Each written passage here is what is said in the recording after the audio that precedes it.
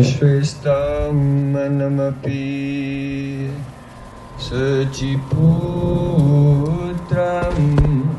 Atasurupam Rupam Tasya Gachamuri Puri Machurim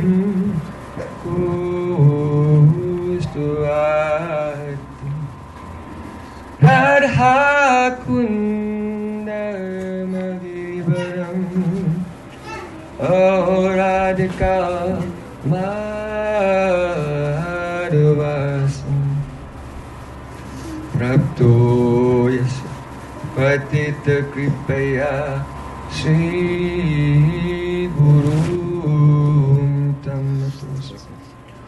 गुरवे गौरचन्द्राय राधिकायत्राली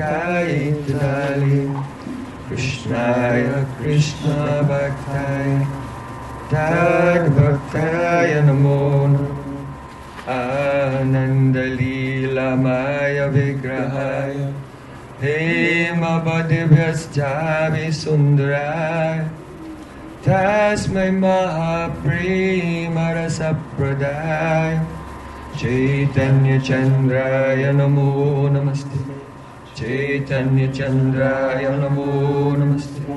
Chaitanya Chandraya Namo Namaste Bhaktya Vihina Aparada Lakse Tilkas to Kamari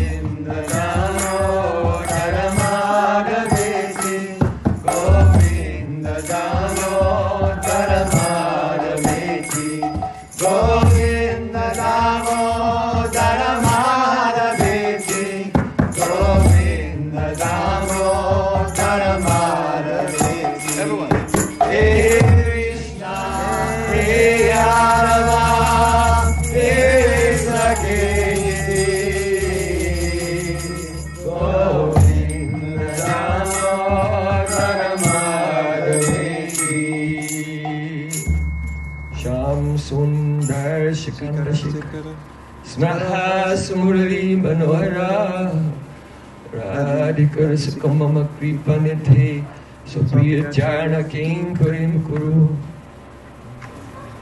तवै वस्मि तवै वस्मि जीवामि त्वया बिना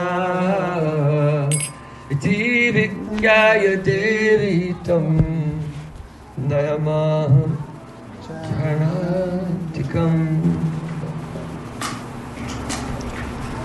First of all, I offer my Sastang Dandavat Puspanjali, my heart like flowers thousands and thousands of times at the lotus feet of my holy master, my supremely worshipable spiritual Guru Gurudev, Asmadiya Paramaradhatama Guru Pada Padma, Nityalila Pravishta Om Vishnupad, Aishtottara Sata Sri Rupanugacharya Varya, Srila Bhakti Vedanta Narayan Goswami Maharaj.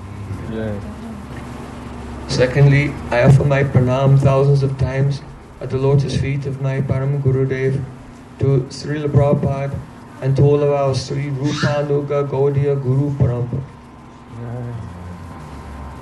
And finally, I offer my pranam to all the assembled Vaishnavas and Vaishnavis.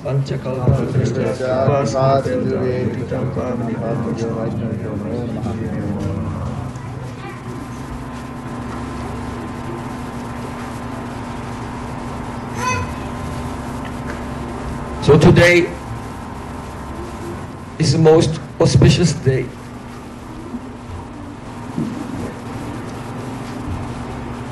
Because we have a chance to glorify the Vaishnavas.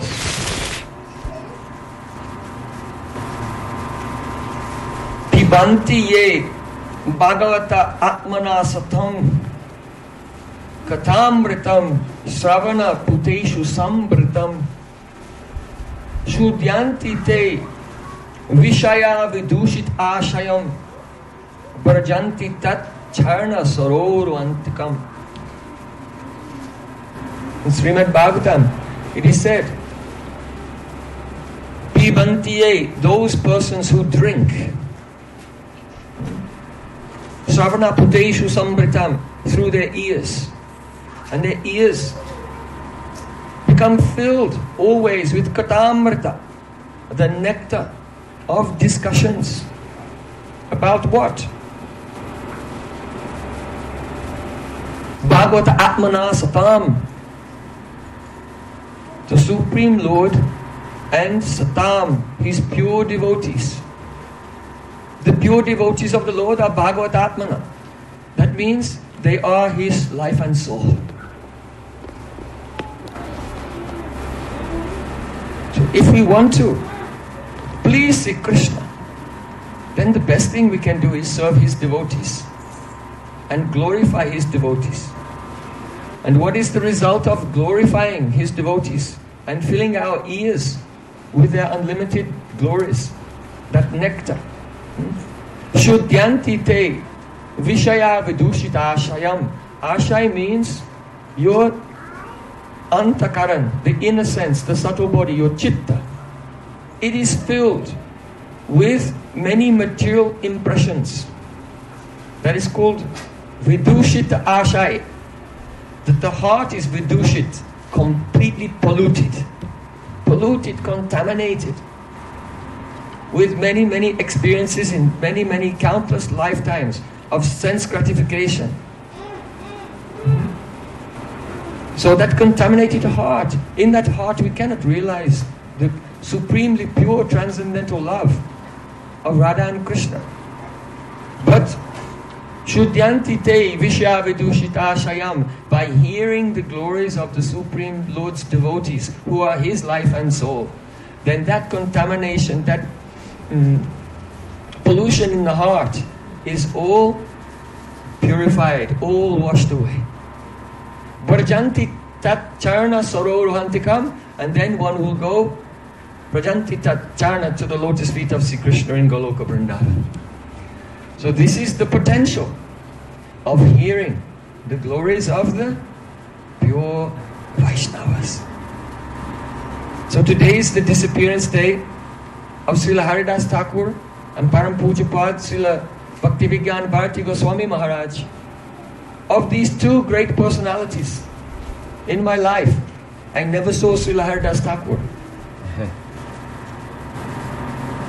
But Param Pujapad Srila Bhakti Vigyan Bharati Maharaj was very merciful and gave me his darshan in this life. So first I want to remember his lotus feet. For those who don't know, he was born in uh, the Bharadwaj Gotra in very high class Chakravarti Brahmin family. On Ekadasi day, Shayan Ekadasi day, very holy day, in Rampur, in the Bankur district of West Bengal, he was born in 1926. So he's just a little bit younger, five years younger than my Gurudev. It is very significant in my life. Since in 96, I lived in Vrindavan. And there are many festivals going on all the time, especially appearance and disappearance of Prabhupada Srila Bhaktisiddhanta Thakur and other great Vaishnavas. At that time, all the Gaudiya Mats come together. Hmm? They often don't celebrate separately, they all come together. So all the acharyas of the various mats would come. So from that time, I had the darshan of Param Pujpat Srila Bhaktivedanta Bharati Goswami Maharaj. And always he would speak with so profoundly. His memory of all those years. Okay, he's born 1926. So those uh, early years of Gaudiya Mat and all the pastimes of Prabhupada Bhaktisiddhanta Thakur's very near and the intimate disciples. He served them very closely. So he was like Kakabushandi. You know Kakabushandi? He's the crow in Lord Ram's Leela. And he lives for thousands of yugas. So he has seen everything and he remembers everything. And even Garuda had to go and take shiksha from Kakabhushani. The king of birds had to go and take shiksha from a crow. Uh-huh. Because he was not only self-realized, but also had memory of thousands of yugas. So Maharaj was like that. If anyone wanted to know any history of any Vaishnava, any uh, associate of Prabhupada Bhaktisiddhanta Thakur, you could go there and he was the encyclopedia of all the pastimes of all the great associates of Srila Bhaktisiddhanta Thakur. Not only his, his disciples and their disciples also. Like my Gurudev and others, Srila Vaman Maharaj and others. Eh? And when he used to begin to speak about them, then you can tell. He would close his eyes and he was there. And if you would listen, then you were also there. Eh? As if you can see everything that is going on. Because his words are Shabda Brahma, transcendental. They can, what is in his heart can be transmitted into the heart in the form of a vision of anyone who will hear with great honor and surrender and the sevabriti, the spirit of service. Hmm? So from 1996 I had the chance to hear from him. Once I was in, the Philippines with my Gurudev. And one sannyasi came to Gurudev and said, I am very afraid. Oh Srila Narayan after you leave this world, then from whom should I hear? Whom can I hear from? But he was not satisfied because he was this person was senior to both me and Bon Maharaj. He said, no, no, no, someone else. Tell me someone else. Gurudev said, oh, you should hear from Srila Bhakti Vigyan Bharati Goswami Maharaj. He is Tattvavit and Rasik. He knows all Siddhantas. And also he is Rasik as well. You should hear from him. Then I thought, oh, my Gurudev has a very special place in his heart for Srila Bhaktivedanta Bharati Goswami Maharaj. So when my Gurudev left this world, then myself and many of my godbrothers and god sisters, then we all went to uh, take shelter and guidance of Param Pujapad Srila Bhaktivedanta Bharati Maharaj. And in our time of great pain and suffering, then he consoled us with sweet nectarian Harikatha. Whatever doubts and questions we had, he would clear them in a beautiful way. So Maharaj was born in 1926. Then he was uh, working as a teacher in a village near Madinapur in 1944. And devotees from the Gaudiya Math in Madinapur were coming there and preaching. And then he went there to the Gaudiya Math and in 1944 he met the great Vaishnavacharya, Param Pujapad Srila Bhakti Dayat Madhav Goswami Maharaj.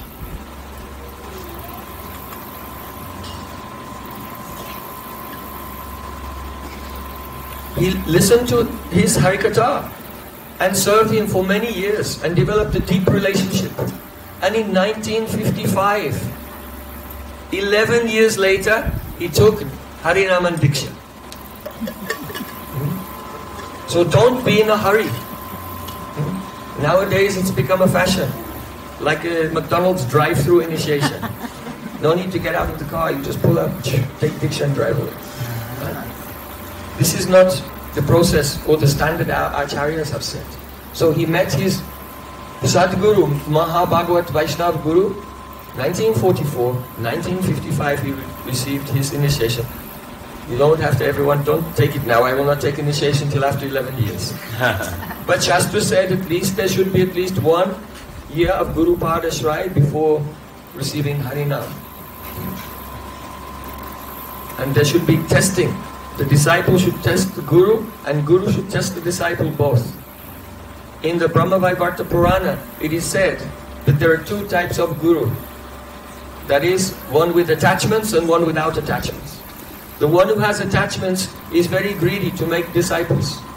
And he gives them initiation without testing them. but one who is, and also when he speaks, his words do not touch the heart and change your life. But the, the Guru, who is free from all attachments, when you hear his words, then your heart is melting. Anarthas are washed away and come out from your eyes in the form of tears. So when the, the Vaishnava is pure without attachment, his words change us, transform us. And he will test the disciple before initiation. Then Brahma Vaivarta Purana explains that giving knowledge to the untested disciple brings about the ruination of the world. So Maharaj, after 11 years he received Diksha and he left everything. Left his family and job and everything and stayed in the mutt there. Again he was serving his Gurudev. Niskapata Niswarta Guru Seva. With, niswarta means without any selfishness. And niskapat, without any duplicity. Oh Gurudev, you are Sakshadhari, direct manifestation of Supreme Lord in this world. The form of Krishna has appeared to save me. It's very easy to stay from your lips, but in your mind thinking, oh, Gurudev is an ordinary person, he just knows a lot of Shastra. Gurudev's body is made of five elements, earth, water, fire and air and ether, like my body. I am eating, Gurudev is eating, I sleep, Gurudev sleeps. Hmm? I sometimes get ill, Gurudev sometimes get ill, we are similar. Hmm? So this is kapata, kapatata, duplicity. Niskapat Guru Seva. Shastra said, Acharya mam vijaniyam navamanyeta kachit. Krishna is saying, I am the Acharya. Never have the idea that Gurudev is an ordinary mortal being. So really, from the core of the heart, having this strong faith, Vishwambena Guru Seva, one should serve with intense faith and unprecedented attachment. So in this way, without any duplicity, he served his Guru Maharaj. And in 1969, another 14 years later, then Srila Bhakti that Madhav Goswami Maharaj gave him sannyas. At Diksha his name was Narottam Das Brahmachari. But now he became Srila Bhakti Vigyan Bharati Goswami Maharaj. And he engaged himself fully in service. He translated into Hindi from Bengali the entire Sri Chaitanya Bhagavata, Vrindavan Das Thakur, along with the commentaries of Srila Bhaktisiddhanta Thakur. He translated the entire Sri Chaitanya Charitamrita of Srila Krishnadas Kaviraj Goswami, along with two commentaries, Srila Bhaktivinoda Thakur's commentary and Srila Bhaktisiddhanta Thakur's commentary. He was managing all the parikram, parikramas of his Gurudev's mission, Navadvip Dham Parikrama, Purushottam Kshetra Parikrama, Brajmandal Parikrama. So he was serving, serving, serving all the time. After some time, his Gurudev, seeing his service, he was compelled to give him the title Seva Vigraha. So he received that title. Oh, you are truly the Vigraha, the very embodiment, the personification of service. So after the disappearance of his Gurudev, then Srila Parampuchapad, Srila Bhaktivalabh Tirtha Goswami Maharaj became the Acharya in that mission. And Maharaj became the secretary. So for years and years and years, he was always the, in the second most senior position in the mutt. And he did not initiate anyone. No disciples at all. That wasn't a concern for him. He was always in the position of sevak, servant of the servant of his Gurudev. Hmm? And he served in that capacity for many, many years until the disappearance of Srila Bhaktivallabh Tirtha Goswami Maharaj. And still he did not give initiation. Hmm? But at that time, my Gurudev left this world and all of his disciples were coming to him and hearing from him. And they were also preaching to so many new people who never had the chance to be initiated by Srila Bhaktivedanta Narayan Goswami Maharaj. So they were bringing new people to him and they were begging him, please, please, give initiation. But he never wanted to do it. Actually, this was there before Srila Bhakti Vallabh Maharaj left because in the final portion of his Leela, Srila Bhakti Vallabh Maharaj was in the Samadhi. He was in trance for a very, very long time before he left this world. So there was no way in which he could, uh, that anyone could know from their perspective whether or not he was giving his own uh, acceptance to disciples. So some of his senior sannyasis were bringing the devotees into the room and they were giving mantras saying you're initiated by him, but he was in samadhi, not speaking. So there was no real com uh, confirmation. So some devotees, they didn't want to do this. So now, Srila Bhaktivedanta Bharti Maharaj was in this position. The Acharya is still Prakriti, still alive and with us in this world. Still, but he's in a deep samadhi of praying for Krishna. So he's not communicating with the conditioned souls who are still in this plane. And so he was not in agreement with those who are doing initiation. Uh, at that time, say, oh yes, you are initiated by him. Because where, how is the relationship actually? Did he speak the mantra? Did he say, I accept you? Did he test you or anything? No. So, Maharaj, he always spoke the truth, whether or not it was palatable for others. So he wrote one very, very humble letter. If you read this letter that he wrote, your heart will break. How humble he wrote the letter. He said, in these circumstances, I cannot accept this. This is not according to Siddhanta. And now many devotees are coming to me. And though I have not given initiation for a long time, I am bound to accept that. And then he began his Acharya Lila. Then many persons who were junior to him, even, they became upset with him.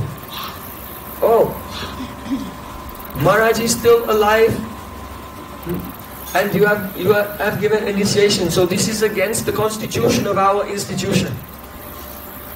And they criticized him. Kick them out. I said kick them out. Yes, yes. Uh, he's saying they kicked him. I always present things in a very gentle way.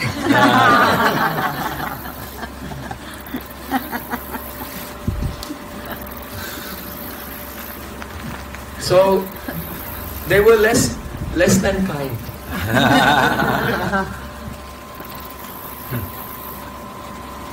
and uh, because of this, he was compelled to leave the mission that his Gurudeva's mission that he had served his whole life.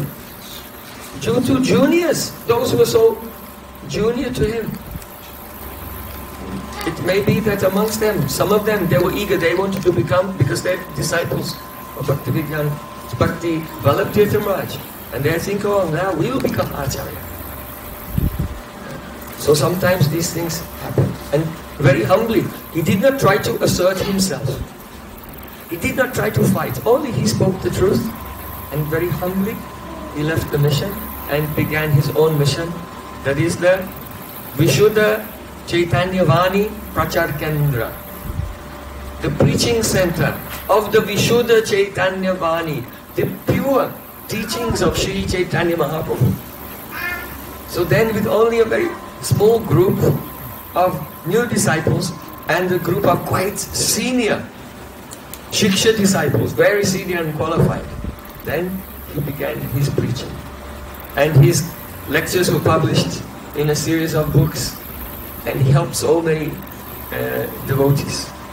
Then after that, who became the Acharya in the mission? Quickly, he passed away. Then there was another one and another one. So they came one after another. Yeah?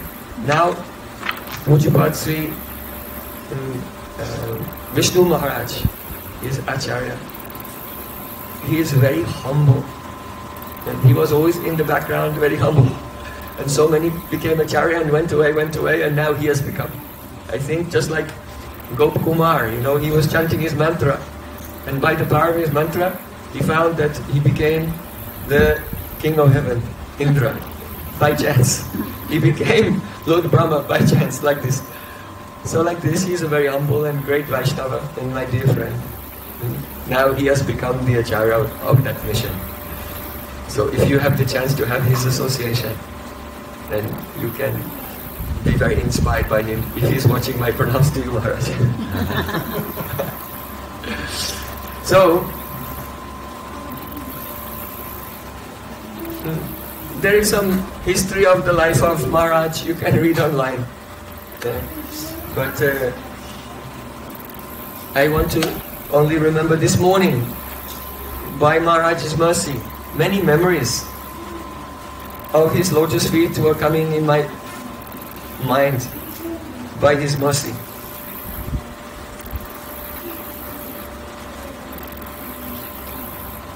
So I want to remember the nectar of his association.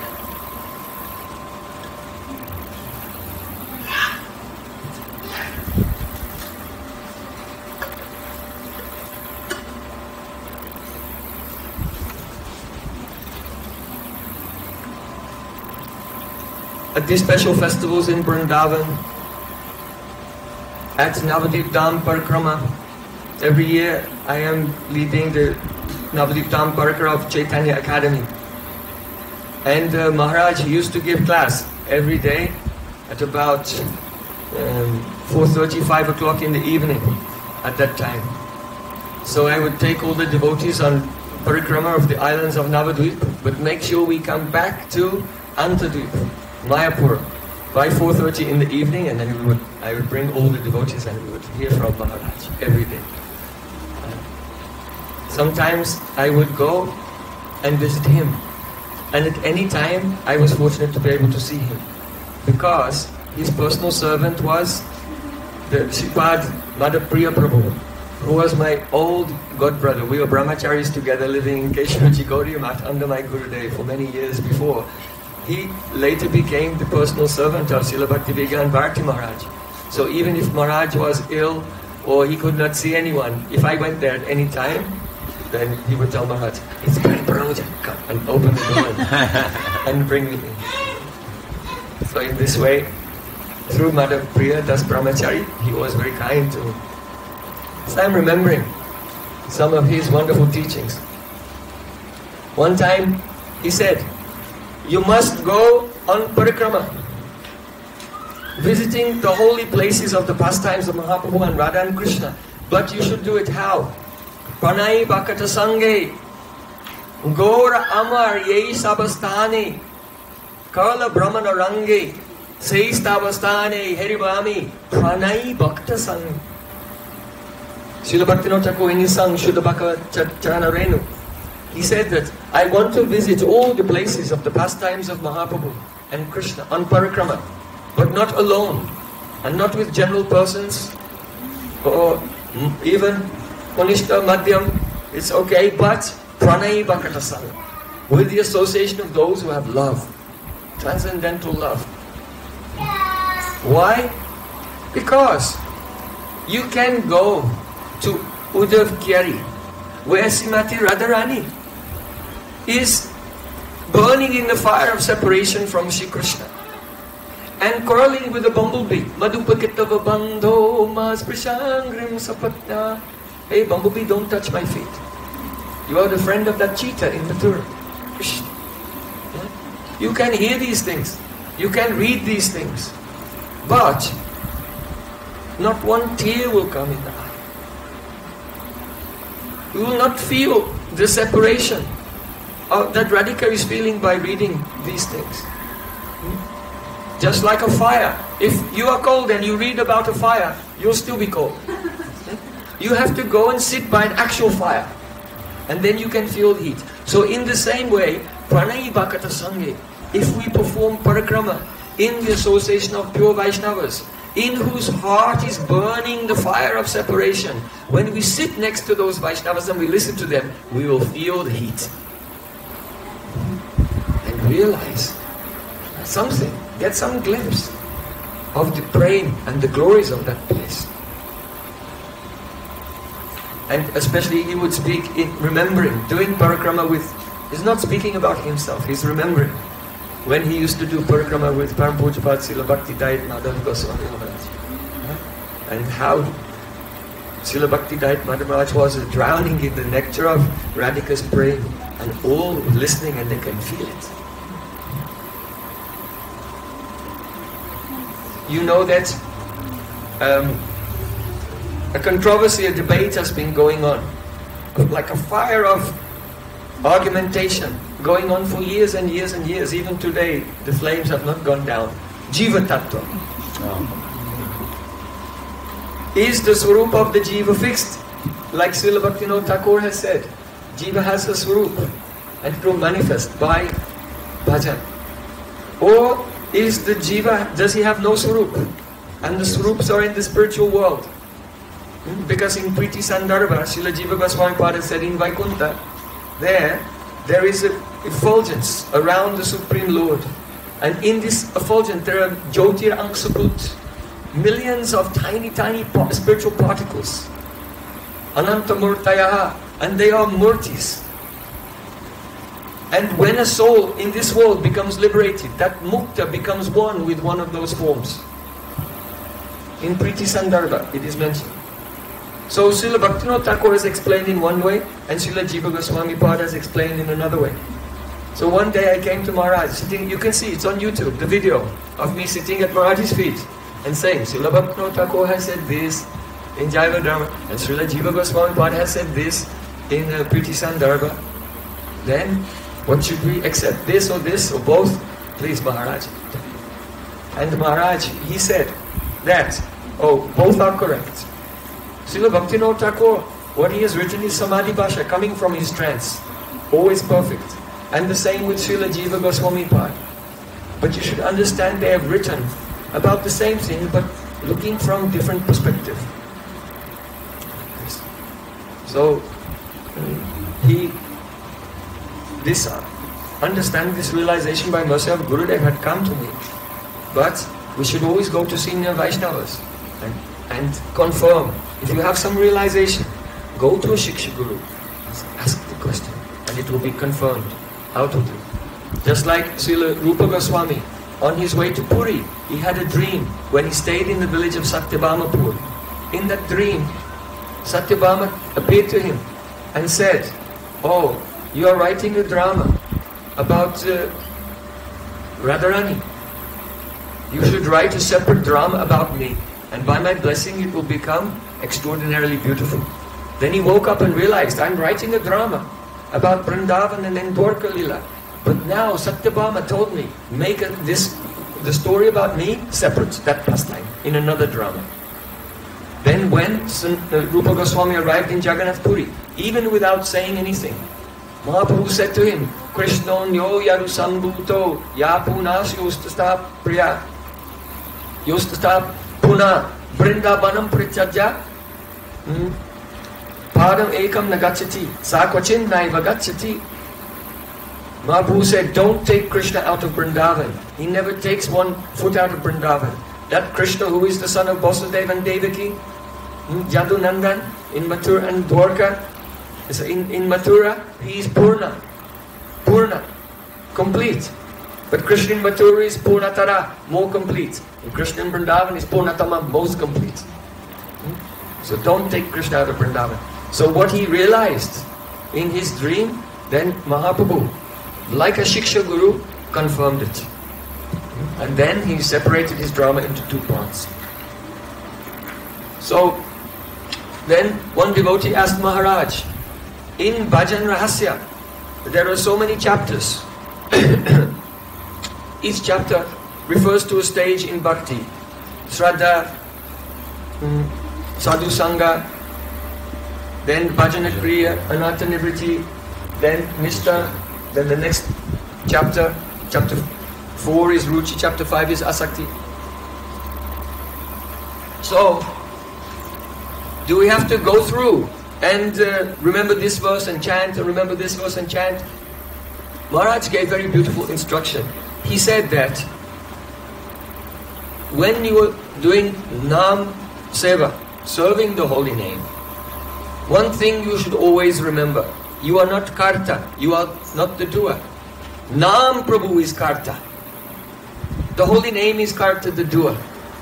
So what Srila Bhaktivinoda Thakur has expressed in each chapter of Bhajan Rahasya, as you are chanting Harinam and your adhikar develops, then Nam Prabhu will bring you to the next chapter. Don't try to get ahead of, of course you can read the whole book. Yeah. But actually how you are praying and how you, what mood will be there at the time of chanting, Nam Prabhu will bring each chapter to you. So Nam Prabhu is Karta. I had a question in my mm, mind for many years. My Gurudev had left this world and I was thinking, I cannot answer this question. So, mm, perhaps some of you know, mm, there are some persons who consider themselves my disciples. It was not my idea. But my very senior Vaishnavas, like Premananda Prabhu, and especially Shri Fakir Mohan Prabhu, and, and others, my Shiksha Gurus, they told me, you should give initiation to these devotees. So on their order, I have given initiation to a few devotees. But I always take those who are in my anugatya, under my guidance, to the lotus feet of Mahabhagavat Vaishnavas. Always. So I always used to go to Maharaj and give Dandavat Pranam. Again and again. Even till today, I remain under guidance of my Shiksha Gurus. So, one time, I went there to Maharaj. I cannot pretend I, I know everything. I am Sarvakya. I had a question and I, and I cannot answer it. So I came to Maharaj. I said, Oh Maharaj, after Chaitanya Mahaprabhu visited Jagan, uh, Ramkeli, from Jagannath Puri, he was on his way to Vrindavan and he came to vi- the village of Ramkeli. And there he met with Rupan Sanatan. And he gave them instructions. You should leave everything, leave your job and your family and everything, go to Vrindavan and come and meet with me. Then Mahaprabhu, he didn't go to Vrindavan that time, he got as far as Kanai Nachala and then he returned because Sanatan Goswami Pad had told him, Vrindavana yatra nahi ei paripati. This is not the way to go to Vrindavan. Surrounded by thousands of people. Along the way, thousands of people were following him. And because there are different moods, if you're in a big group of many people with different moods, then your own mood cannot manifest. So Rupa Goswami Pad said, Sajate Ashe Snigdhe. Associate with those who are in a mood, same mood that you aspire for. Hmm? If you want to be in Madhurya Rasa, like Rupa Goswami, be with Vaishnavas who are deeply absorbed in that. If you want to be in Sakyaras, like Gauridas Pandit, be with such devotees. If you want to serve Lord Narayan in Vaikuntha, go to Sri Rangam and be with Sri Vaishnavas. So we should have like-minded associates, otherwise our mood will not manifest. So Sanatana Goswami Pad said this to Mahaprabhu, and Mahaprabhu was thinking, yes, it's true. Madhavendra Puri was alone doing Harinam, and Krishna himself came and bought him a pot of milk. Hmm? This will not happen if you're with so many persons. So Mahaprabhu turned around, he went back to Puri. So after Mahaprabhu had gone, then Rupa and Sanatan, they were thinking, we have to get out of our entanglement. They had big positions in the government and big responsibilities and their family and everything. So at that time, they engaged some brahmanas in doing prayashtita of Krishna mantra. And they, it's written in Chaitanya Charitamrita also they paid those brahmanas a lot of money to do prayashtita. So prayashtita, um, sorry, Purascharana. Purascharana. Purascharana is uh, a ritual that you have to do. You have to do five sacrifices, morning, noon and evening. And chant the um, Krishna mantra, lakhs and lakhs, thousands of times. You have to feed brahmanas and there are so many rituals that you have to observe in Purascharana. So my question was this, that Rupa Goswami Pad in his Padyavali, he said, no dis, no diksham, na cha satkriyam, na purascharyam managikshate, mantrena falo, uh, rasanas pragaiva, falati si Krishna namakmaka. That Krishna's name, the holy name of Krishna, the Mahamantra, Hare Krishna, Hare Krishna, Krishna Krishna, Hare Hare, Hare Rama, Hare Rama, Rama Rama, Hare No diksham, it does not depend on diksha.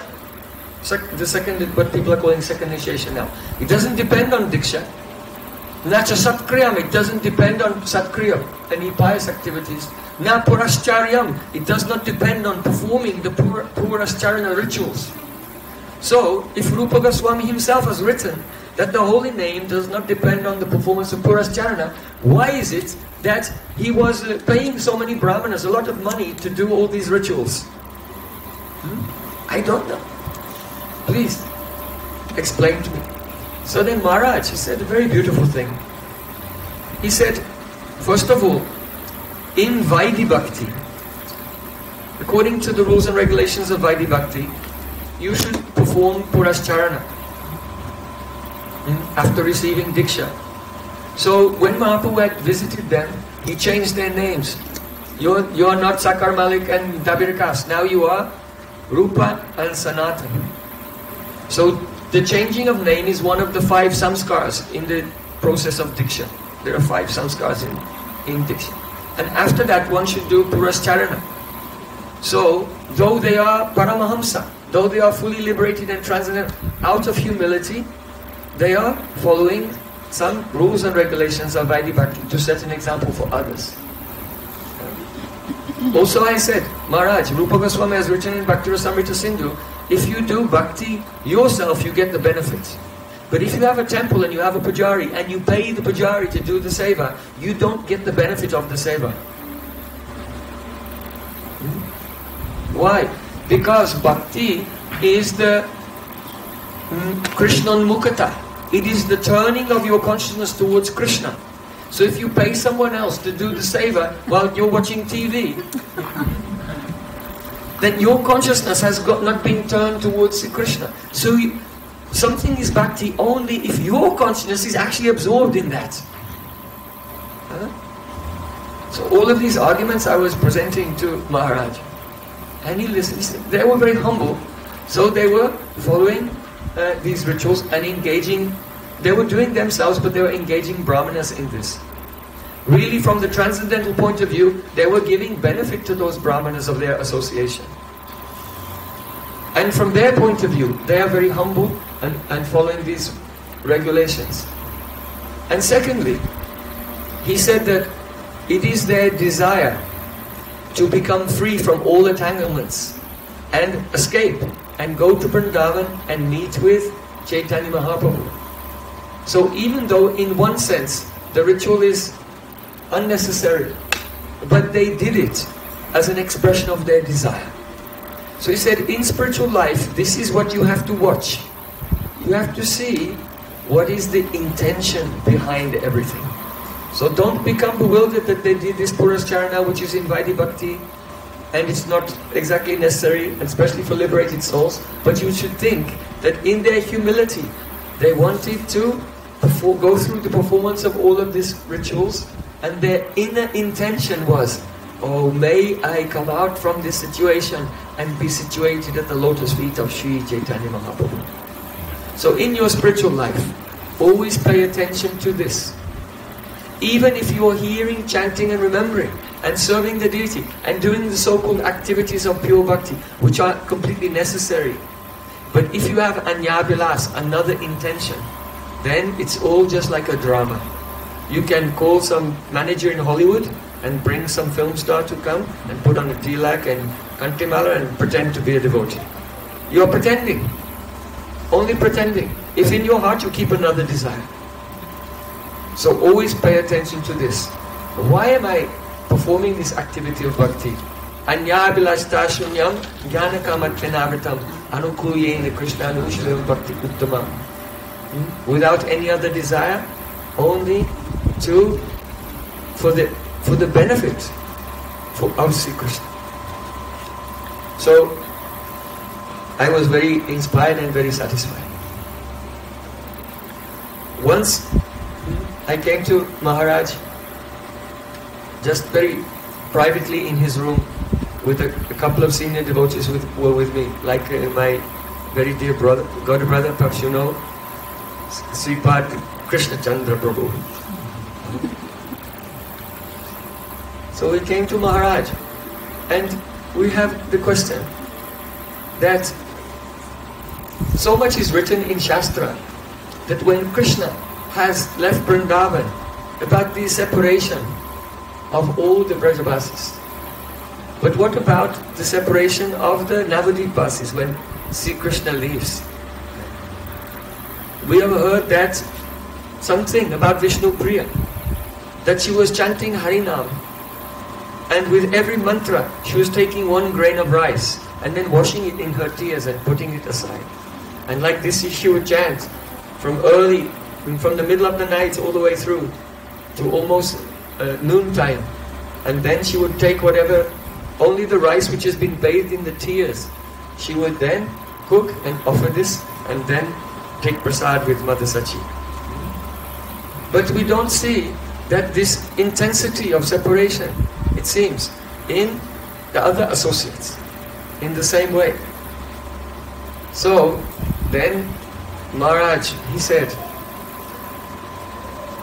that when Mahaprabhu leaves Navadvip, how this separation will manifest in different devotees is different because they all have different relationship. Even the, the love of Sachimata is higher than the love of Vishnu. People don't understand. She's Madhya Yashoda. And Vishnu Priya is the incarnation of Navadha Bhakti, nine types of Vaidhi Bhakti. Hmm? At most we can see that she is the incarnation of um, Satyabhama. Lakshmi Priya is considered to be incarnation of uh, Rukmini and Vishnu Priya incarnation of Satyabhama. So their, their bhakti is uh, according to Maryada, rules and regulations. So he said that is why it was Srila Bhaktivinoda Thakur who advised Srila Bhaktisiddhanta Thakur when he made the temple, the, in the Yoga Pith temple, to put Mahaprabhu and Lakshmi Priya and Vishnu Priya in the middle. Why? Because Radha Krishna, also Radha Madhava there, one cannot approach Radha Madhava directly. They don't accept service actually in Vaidhi Bhakti. If you serve Radha Krishna in Vaidhi Bhakti, then Lakshmi Narayan within Radha Krishna accept that seva. Hmm? So first you have to serve Mahaprabhu in Vaidhi Bhakti. And therefore, Jagannath Das Babaji had, uh, uh, sorry, in, Jagannath Das told Srila Bhaktivinoda Thakur and Srila Bhaktivinoda Thakur told Bhaktisiddhanta Thakur, you should uh, establish the Vishnu Priya and uh, Lakshmi Priya with Gauranga Mahaprabhu. That is Gaur Narayan. Narayan, there. So first serve Mahaprabhu in Vaidhi Bhakti, afterwards it will, be, it will become Raganuga Bhakti if one has the association of devotees in Raga Marg. And then one becomes qualified to serve Radha Madhav. So he said that the different uh, devotees in Navadvip, how their separation manifests is different according to the type of their love. And then he gave a very beautiful example that I pray I will never forget for my whole life. He said, look at the example of Nityananda Prabhu. When Mahaprabhu left Navadvip, then Nityananda Prabhu, he was preaching everywhere. He would go to visit Mahaprabhu in Puri for a few months and Mahaprabhu would send him away and again he would go preaching. When even after Mahaprabhu disappeared, Nityananda was preaching everywhere. He said this was his separation. His separation manifested in that way. Why? Because that is his service to Mahaprabhu. To spread Harinam Sankirtan everywhere. So though Vishnu Priya, her separation was manifested in washing the bhog with her tears. But for Nityananda his uh, separation from Mahaprabhu was manifest in his deep attachment to the savor of Mahaprabhu in the form of prachar everywhere. And one should understand the life of Vaishnavas in this way also. You see? Those who are not liberated, those who are conditioned souls, those who have bodily attachment, those who still have worldly desires, they're also so-called preaching. But their preaching is only for their own pratishta, only for their own name and fame. But those who have deep love for their Guru Pada Padma and realization, eh, then they're also preaching. But why? It is the anubhav of their deep separation from their Gurudev. So they prachar, they cannot stop preaching.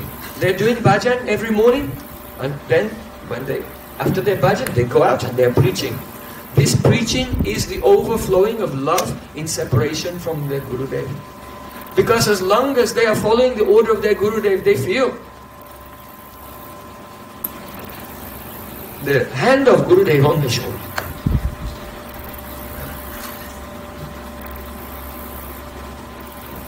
When Gurudev was old, then he always used to call one close disciple and put his hand on the shoulder and walk into class to preach.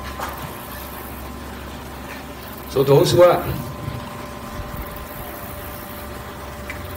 serving their Gurudev heart and soul, they can feel the hand of Gurudev on their shoulder when they go to class.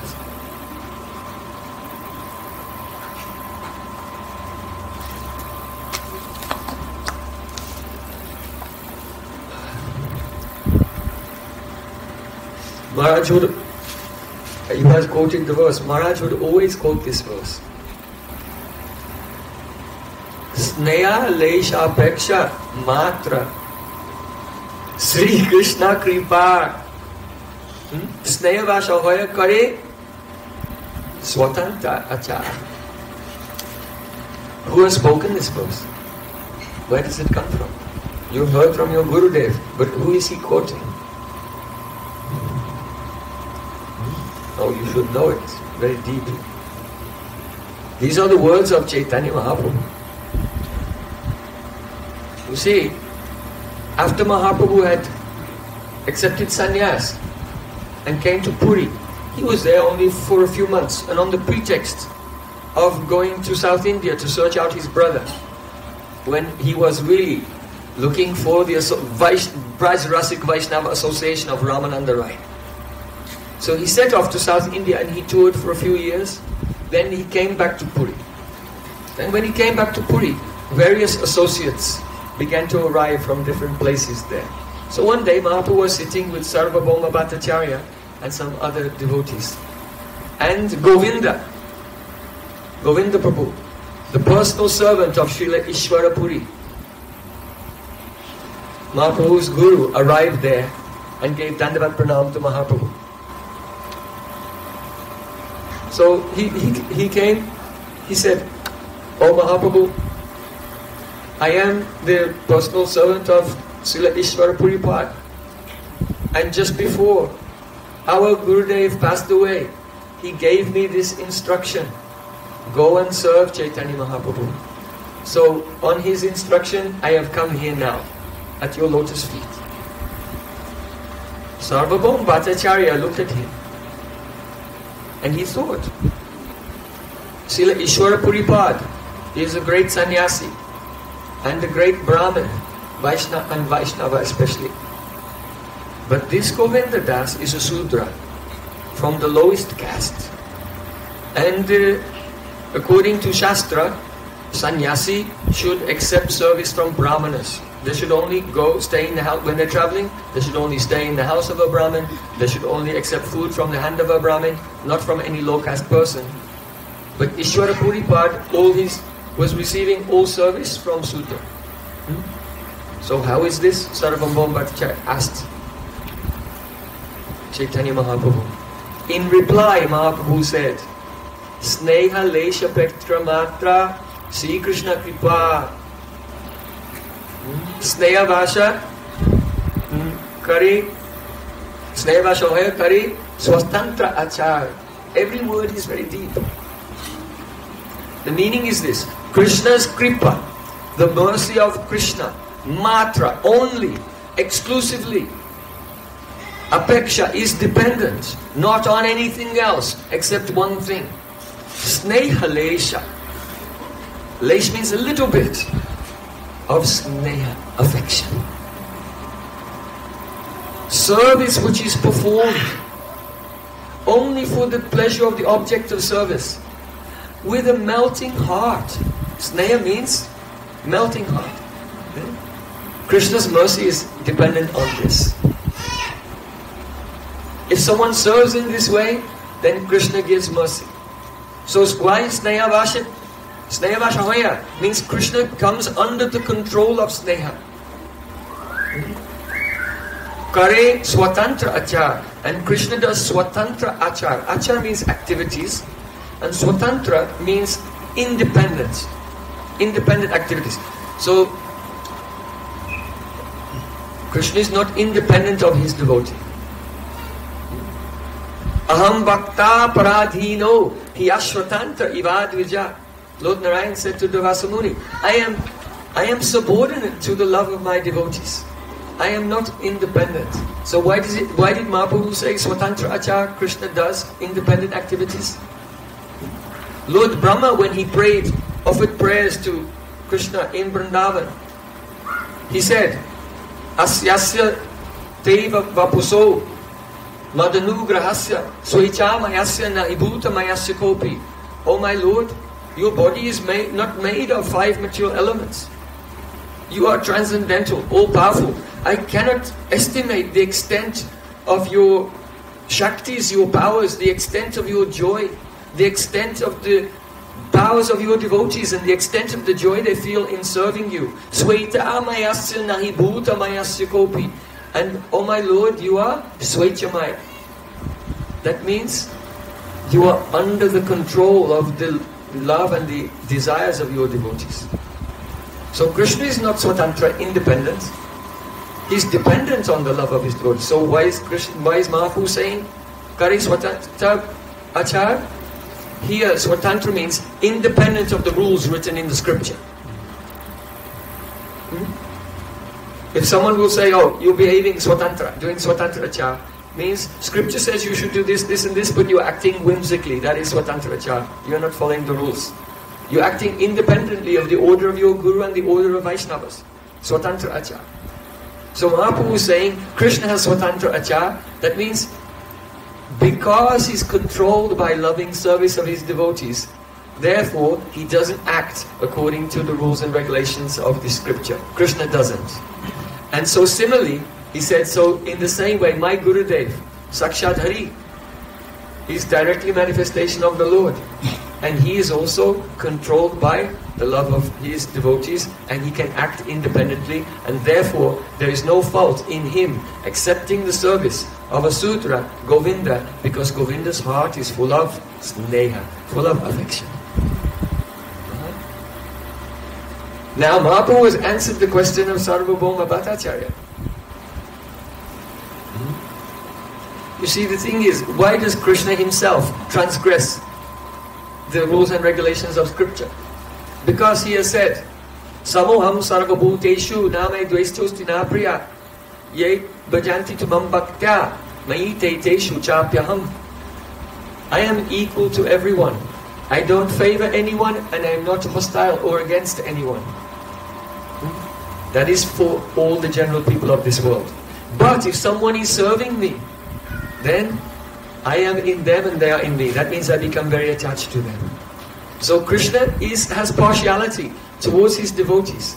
He's indifferent to those who are indifferent to him, but he's partial to those who are partial to him. Because that's Krishna's nature. Prapadyante. I reciprocate with everyone. So if someone has affection for Krishna, he never considers what is their position. He reciprocates. And Sri Guru is also like that. Everything depends on loving service. Service with affection. So, mm, my very dear Vishwarup Prabhu, he was saying, people used to come to Maharaj and say, give me mercy, give me mercy. But Maharaj used to say, though it seems Vaishnavas are giving blessings, But really the mercy depends on sneha lesha apeksha. It depends on, one should have a little affection. Hmm? And then the mercy will come. Then someone may make an argument. But we heard that the mercy is ahoituki, causeless. So that's what I want. Just give me the causeless stuff. right? You know, when I don't have to do anything, I don't have to sacrifice anything. I can stay in my comfort zone, hmm? and all the mercy will come. That's the mercy I want. Ahoituki kripa, causeless mercy. People think like this. So Maharaj never tolerated this ignorance. Hmm? He enlightened the whole world. He said, no, no, no, no. Huh? it depends on your affectionate service. Then mercy will come. In fact, there's no difference between mercy and affection. If you are rendering hmm, the service affectionately, then that is mercy. So the mercy is there, you just have to accept it. Just like water is everywhere in the air, but you are thirsty, you cannot drink it. So Krishna's mercy and Guru's mercy is everywhere, but you have to accept it. That mercy is the seva. So when you begin to serve, now the mercy is coming. They are together. So what is the meaning of course? If you have to surrender and serve and sacrifice, then what's the meaning of ahoituki kripa, causeless? So Maharaj said, in ahoituki, hmm, like Mahaprabhu prayed, na danam, na janam, na Kavitamba Jagadisha Kame Mama Janmani Janmani Ishware Bhavatad Bhakti Ahoituki Tvai May I have Ahoituki Seva to you. That should be awakening in my heart every moment. So Hetu means cause. So Ahoituki, people say, oh yes, causeless.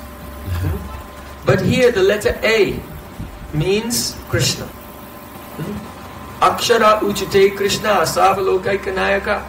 Just as in the, the Bij mantra Om. A U Ma. A means Krishna. U means Urja, Shakti, Radhika. And Ma, Makshara, Jiva Vachaka. Ma means the Jiva, the soul, me. So Om is the, the embodiment of the loving relationship between ourselves and Radha Krishna.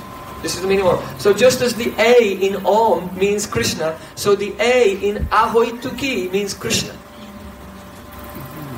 So Ahoituki Seva means the service whose only cause is Krishna. It is to please Krishna.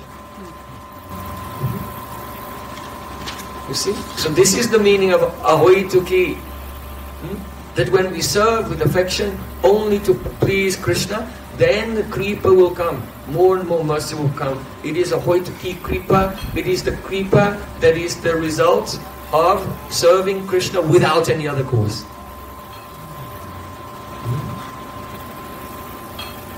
So in this way, Maharaj cleared so many beautiful points of Siddha. Oh.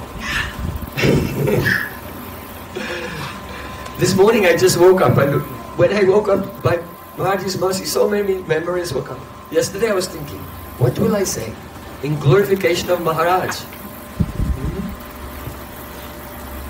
Hmm? Vaishnava chinini nari devara shakati Srila Vrindavan Das Thakur said, even the great demigods, they cannot recognize pure Vaishnavas. So how can a person with very meager, insignificant intelligence understand recognize, glorify pure Vaishnavas. I was remembering this verse and thinking. Then this morning when I woke up, many remembrances were coming. So I'm remembering Maharaj was like the encyclopedia of the complete history of all the pastimes of the great Vaishnav disciples of Prabhupada Bhaktisiddhanta Thakur. So, uh, as you know, my Param Gurudev is Srila Bhakti Pragyan Keshav Goswami Maharaj.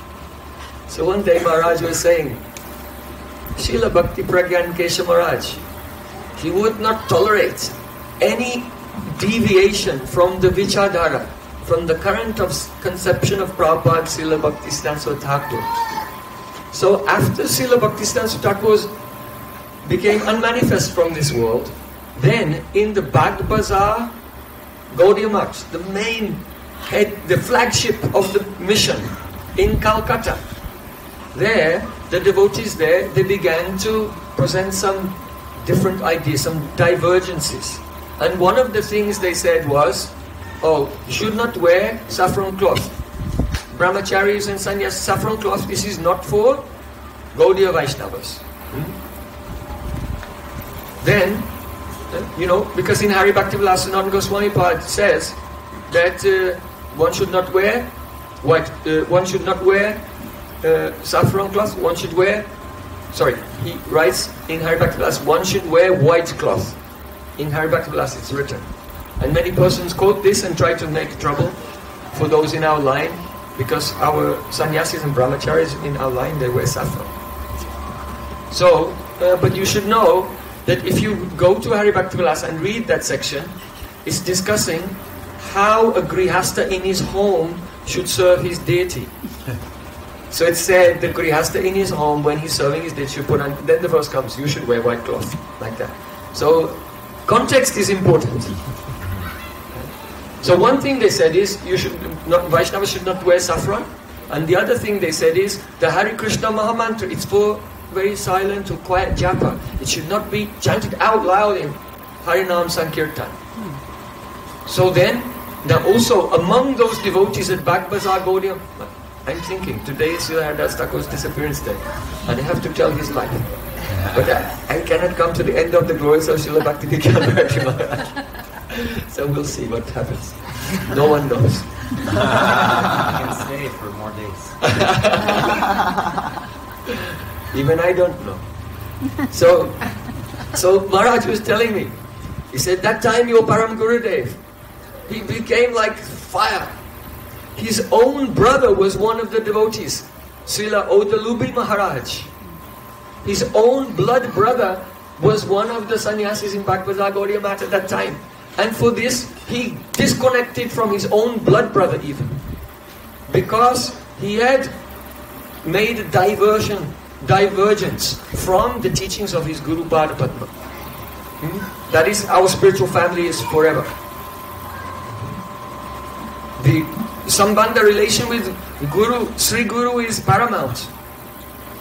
So he gave up his brother. Even when Srila Bhakti Pragyan Keshmart was staying at Devananda Gaudiya Math, oh, once some devotees uh, from the Math, they went preaching and they came back to Calcutta and they came back.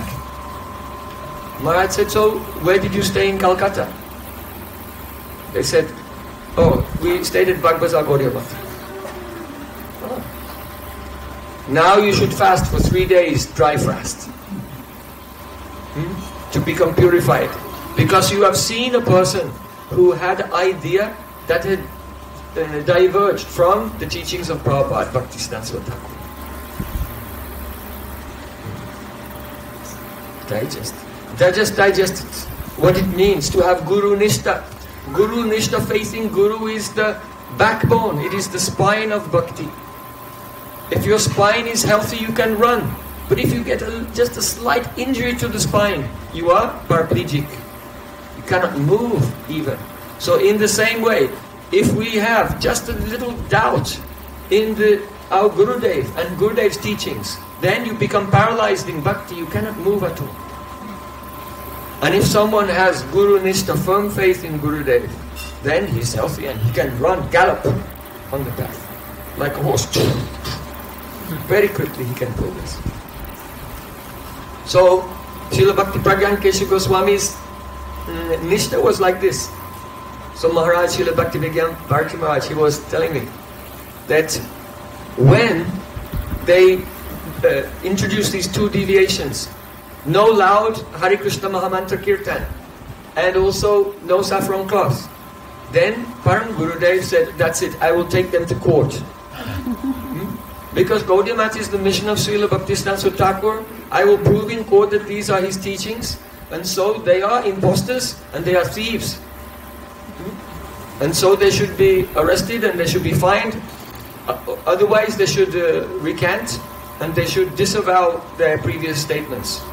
So when Srila um, Bhakti Pragyan Kesha Maharaj was preparing the court case and writing, he was very expert in legal affairs. He was writing the documents and he, then he was sending them here and there.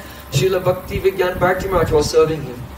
And he was taking the documents, proofreading them, and then taking them to a, a lawyer and coming back and, and going to the court, filing them in the court. That was Srila Bhakti Vigyan Bharati was doing that seva.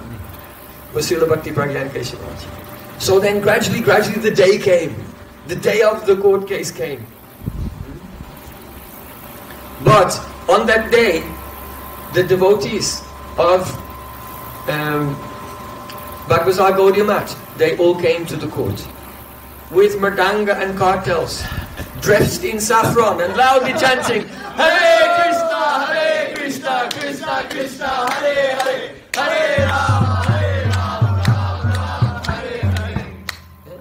Bhakti Pragyan said, Oh, forget it, we will not make this case. and your Gurudev said, said, but you did so much work on writing all these papers and everything and working with a lawyer and giving them so much money and everything, and you'll just drop it before even the case begins? Huh?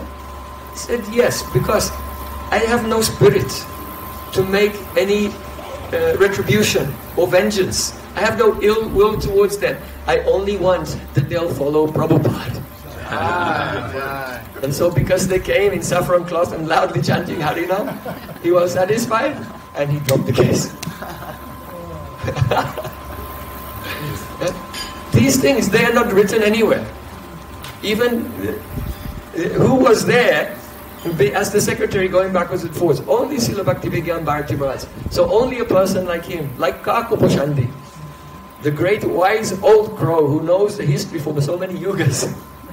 only he can uh, tell such beautiful pastimes. And hearing this, my love for my own Param Gurudev was nourished and growing and I can never repay him. So, remembering some more. so, one time we were at um, at uh, Govardhan, and uh, Bhakti Vigyan Bharti Maharaj was there. He was staying in the mat, and I came. And I was in another room. Some sannyasis invited me. Oh, Prem Prayojan, come, we want to talk to you. We have some problems. So let's discuss together and try to come up with a solution and see what's written there in Shastra. So it turned out that the one devotee was coming to Srila Bhakti Vigyan Bharti Maharaj and asking for sannyas. He was an old devotee, very, very senior devotee. And he came to ask for sannyas. And now Maharaj was also very, very, very old. It was his Antya his last, some of his last pastimes. So, he came to ask. And Maharaj is very merciful. But some other devotees were telling no, no, don't give, don't give. So he said, we'll decide later. So then emergency meeting was there, and I came up and they grabbed a paper, come in the emergency meeting. so then they said, look, this devotee, many years ago, he'd done something, like 25, 30 years ago. 30 years before, he'd done some terrible things. Hmm? But then afterwards, it seems he'd become rectified maybe. And he had, uh, he was in good standing, but before he danced, and he, this was well known among the devotees. So devotees were saying, if Maharaj would give sannyas to him, then many, many people who are still angry with that person, they'll turn against Maharaj and the, the mission will be impeded. Hmm? So, then what will we do? Hmm? I said, Maharaj is Swatantra. He's independent. What he likes, he can do. So you should inform him of all the details and then he will do this. Many devotees were coming, new and young devotees who had never really interacted with Maharaj much. Maybe they saw him a few times. Or they'd never seen him before even and they were coming uh, to India, some for the first time. Because they heard the great Maha Bhagavat Vaishnava, we, we should take shelter. And the senior devotees around Maharaj, they were coming to him and giving the list of the persons for initiation. So, though Shastra has said that gurus should test the disciple and all these things for all this period of time, these are the general rules. But for a great Mahabhagavat Vaishnava Acharya, they also follow. But in their very last Leela, the last final pastimes, then their mercy is overflowing and they may not follow all these things. Hmm? And they will give initiation and tell, and you should follow this. And they will give them some shelter. Give mercy to them and some shelter that they'll be under the guidance of some senior devotees after they have become aprakat, manifest. Because they will speak through those senior devotees, though they are not visible or physically present. But they will speak through their satsishyas and give further guidance. So, the devotees were making the list and giving to Maharaj. So one devotee said, um, said, oh, these are the people for the initiation. And then someone else came and said, uh, but I don't think this person is ready. I don't think he's qualified. So then what should we do? Then Maharaj said a very wonderful thing. He said, now I am very old. I did not get the chance to test these persons. So I am depending on you, my senior devotees. You test them, and those you think are qualified, you can put on the list. And I will give initiation. Hmm? So, my suggestion is this when you're making the list, Maharaj said, when you make the list, you should remember this one thing. If the person is qualified and you put them on the list, then I will accept them and I will take away all their karma. But if you put if you put someone on the list who is not qualified, then you will take their karma. all right? Then everyone was oh. Give me a pen. Very beautiful pastime. said, I will take responsibility for those you recommend sincerely who are qualified. But if you put an unqualified person on the list, you will take responsibility. Now, I am remembering the pastime which is most dear and the final my final exchange with Maharaj. In his last uh, Radhastami in this world, Maharaj went to a new mart was just being opened in his mission in the Govardhan, in Govardhan. So there was just like a, a, small building, some deities were there, and there was a hut for Maharaj, little bhajan kutir for Maharaj, and then just waste, not wasteland, it's Govardhan, but just open land, just trees growing here and there, not developed at all. On the Yatipur side of Govardhan, you know, in between Yatipur and Radhakund, in side. So it was Radhastami, and uh, you know it said that Radharani takes bath three times a day. So in the morning, in Gopal Dham on the bank of Jamuna, at my Bhajan Kuti there, there was big Maha Abhishek installation of deities of uh, Madan Gopal. So there, there was Abhishek of Radharani, Radharani's morning bath. And then from there I went to Govardhan, and there was Abhishek of Radharani at Govardhan. And the Maharaj did Abhishek along with the devotees. And so that was Radharani's uh, noon bath. And then from there I went to our Chaitanya Academy ashram in Radhakund, and in the evening we did Abhishek of Radharani there. So Radharani takes bath three times a day. So we made three Abhisheks on that day. So in the noon time, I went there and Maharaj gave a very beautiful class on the glories of Shrimati Radhika. And then there was Abhishek. And then mm, just after that, Maharaj retired to his room. And because he was very old at that time, and he was lying down in his bed in his bhajan So at that time, my heart was really burning with a question. And I knew Maharaj will not be with us very long. And he is the only person in the world who can answer this question. There is no living person in the whole world that can answer this question. And it's very, very important for me. Perhaps you know that there was a time in the 60s when my Gurudev was in charge of Keshavi, Keshavji Gaudiya Math in Mathura. And his Gurudev was in Navadvip Dham, Devananda Gaudiya mainly, but he used to come every year for the Brajmandal Parikrama and Gurudev used to go there for Navadvip Dham Parikrama. So,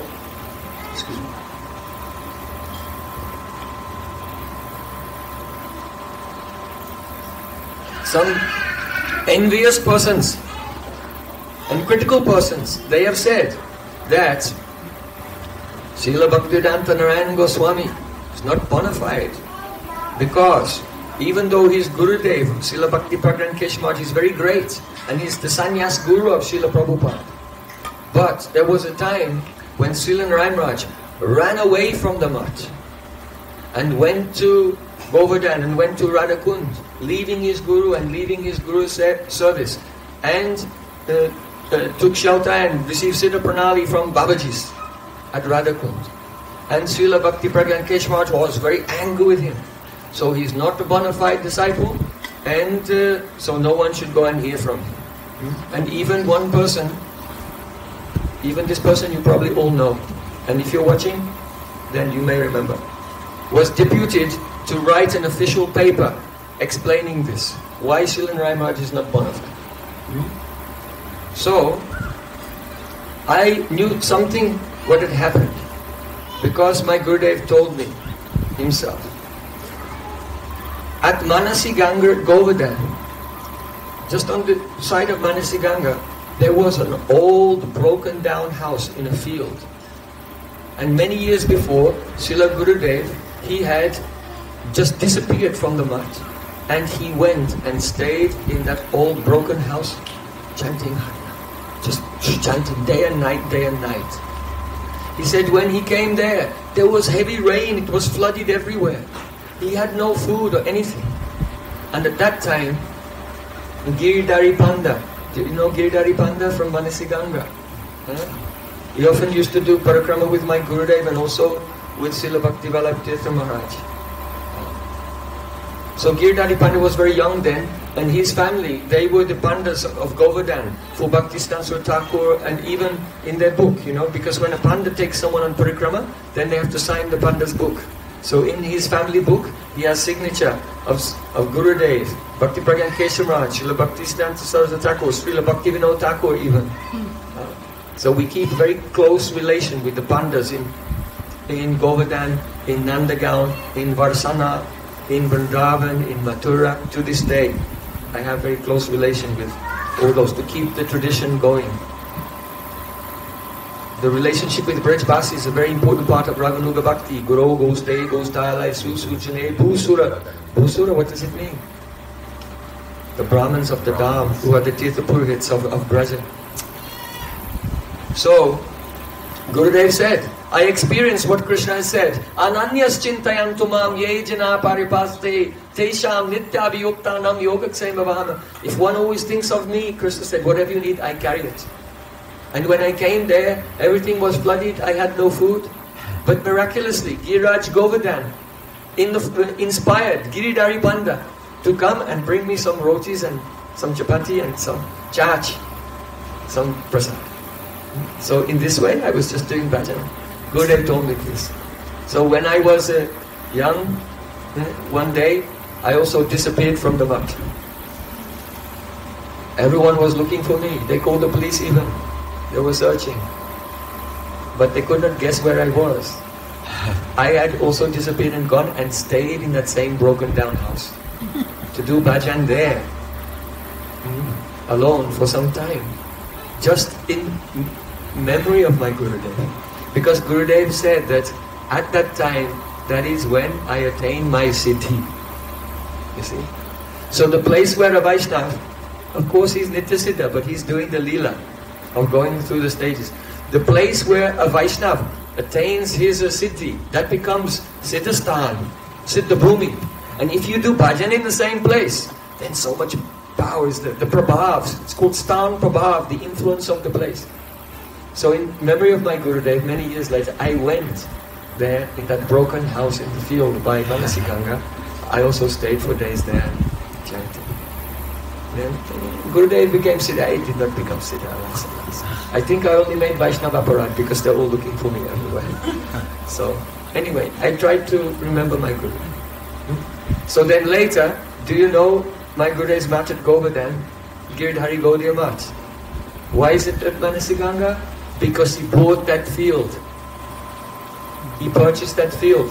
And he wanted to be in Samadhi in that place where he got his siddhi. You see, just like Bhakti, Bhaktisiddhanta Thakur, he was brought from uh, uh, Calcutta uh, by, sorry, he was brought to Brajapatanam in Mayapur by Srila Bhakti Pragyan and he was put in Samadhi there. Srila Bhakti Pragyan Keshmaj insisted, no, no, you have to bring him here and put somebody here. Why? Because that's the place where Prabhupada Bhaktisiddhanta Thakur did his vow to chant a billion names. Hmm? 10 years from 1905 to 1915 and had his leela of attaining his siddhi there. So, he, so in the same way, Gurudev wanted to be in Samadhi at Govardhan there. So he bought that land, and but then when they made the construction, they knocked down that house. And he was actually at the place where the reception is, just on the left side of the gate. They knocked that down, and there's a Pushpa Samadhi there now, because Gurudev's pastimes, he left from Puri, and they took him to Navadvip and put him in Samadhi there in Koladvip. So one may think, oh, that his desire was not fulfilled to be in Samadhi at Govardhan. But in Navadvip Dham, Koladvip is non-different from Giriraj Govardhan. So his desire became true. But in a very, uh, uh, from the perspective of Gora Rasa. The Rasa of Gora Lila. Very special. So anyway, so I knew something about this history that Gurudev had gone there and done bhajan. But deeply I had not discussed it with him and now Gurudev left. So how will I, I will never know. So on that Radhastami after Maharaj had gone in his room to take rest, then I was a bit desperate and I came and knocked on the door. Uh, no one can see him now. Priya, oh, no, no, no. Oh, Brenda okay. come. So then Mother Priya brought me in and closed the door, locked the door. And I came and I knelt down at Maharaj's bed, at his bedside, very close to him because he cannot hear so well. I said, Maharaj, only you can help me. Please help me. What happened many, many years ago, before I was born, when my Guru Gurudev went to Govardhan, because people are saying some criticism. So it turns out that I, by asking Maharaj, I hit the jackpot. because he knew of this. He was the only person in the world, really, who could answer. And the reason is this. When Guru Gurudev disappeared, no one knew where he was, except for one person. Who was that? Srila Bhaktivedanta Bharati. Because when Gurudev was there, he felt this very intense desire. I want to study the commentary of Vishwanath Thakur on Ujjwala Nilamani. But in those days, it was very rare and difficult to find. So he wrote, he thought, who can help me?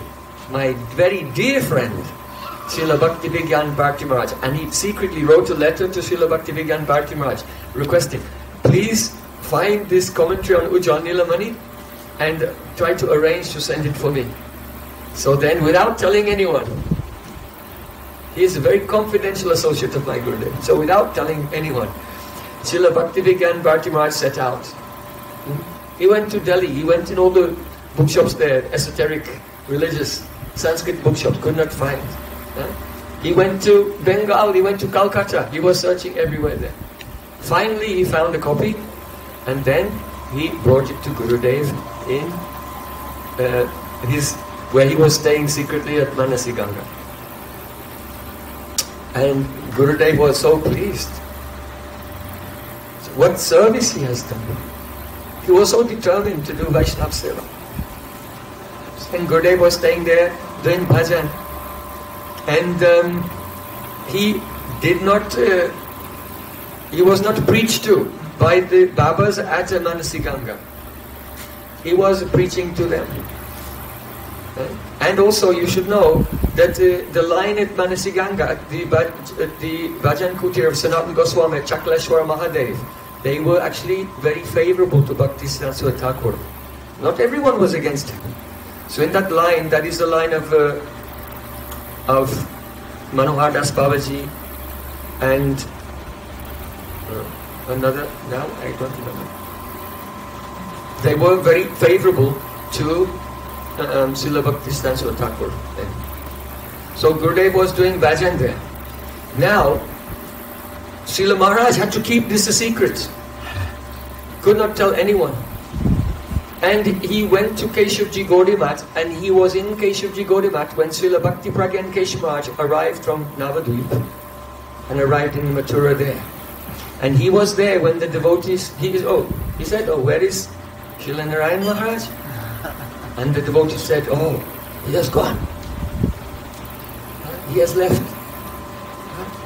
And Srila Bhaktivedanta Bharti Maharaj, he's lying on his bed and remembering. And as he's speaking, I feel as if I'm there. He said, I was there when the devotees told Srila Bhakti Pragyan Keshavraj this news. And I saw with my own eyes how immediately Bhakti Pragyan Keshavraj broke down crying. And then Pujapad Bharti Maharaj, he said to me, you should understand that this is a special lila. To manifest to the world the beautiful relationship between Srila Bhakti Pragyan Kesha Maharaj and Srila Bhakti Narayan Maharaj, your Gurudev. Just like no one can understand the love in the heart of Brajagopis. Even Krishna could not understand.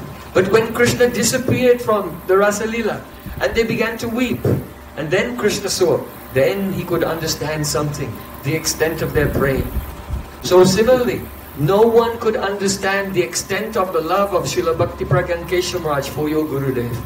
And so this special pastime manifest that everyone could see, that when he went to do his bhajan, then that love which was hidden, it became manifest before everyone. And I saw it myself with my own eyes. So then Srila Bhaktivedanta Bharti Maharaj told me that you should understand that at that time, some persons in the mat, before my Gurudev had disappeared, some persons in the mat, they were making some problems for him. He was serving as much as he could, but no one was showing any appreciation and they were not cooperating and cooperating and giving so many problems. That's one thing. A disciple can tolerate problems. But on the pretext of this, he felt that now is the time he had to become completely immersed in Nam Bhajan. And so he disappeared where they could not harass him and, and involve him in whatever was going on there. And he went there to Giriraj Govardhan as Raghunath Das Goswami has prayed. निज निकट निवासम देहि गोवर्धन प्रमद मदन लील कंदरे कंदरे ते रचयति नवयून द्वन्द्वमस्मिन् मन्दन इति किल कालनाथम लग्न कस्तत्वयो मे निज निकट निवासम देहि govardhan Oh Giriraj Govardhan in your beautiful caves and kunjas Radha and Krishna are uh, completely intoxicated in their beautiful loving pastimes. You are the witness of that. So please be merciful to me that I may also have darshan of Radha Krishna's Leela. Give me a residence at your side. So Gurudev went there, like Raghunath Das Goswami, to pray and do his deep bhajan there. And he had the Leela of attaining his Siddha there as the Dasi of Shrimati Radhika. And then, when that was complete, then Gurudev returned to the mat.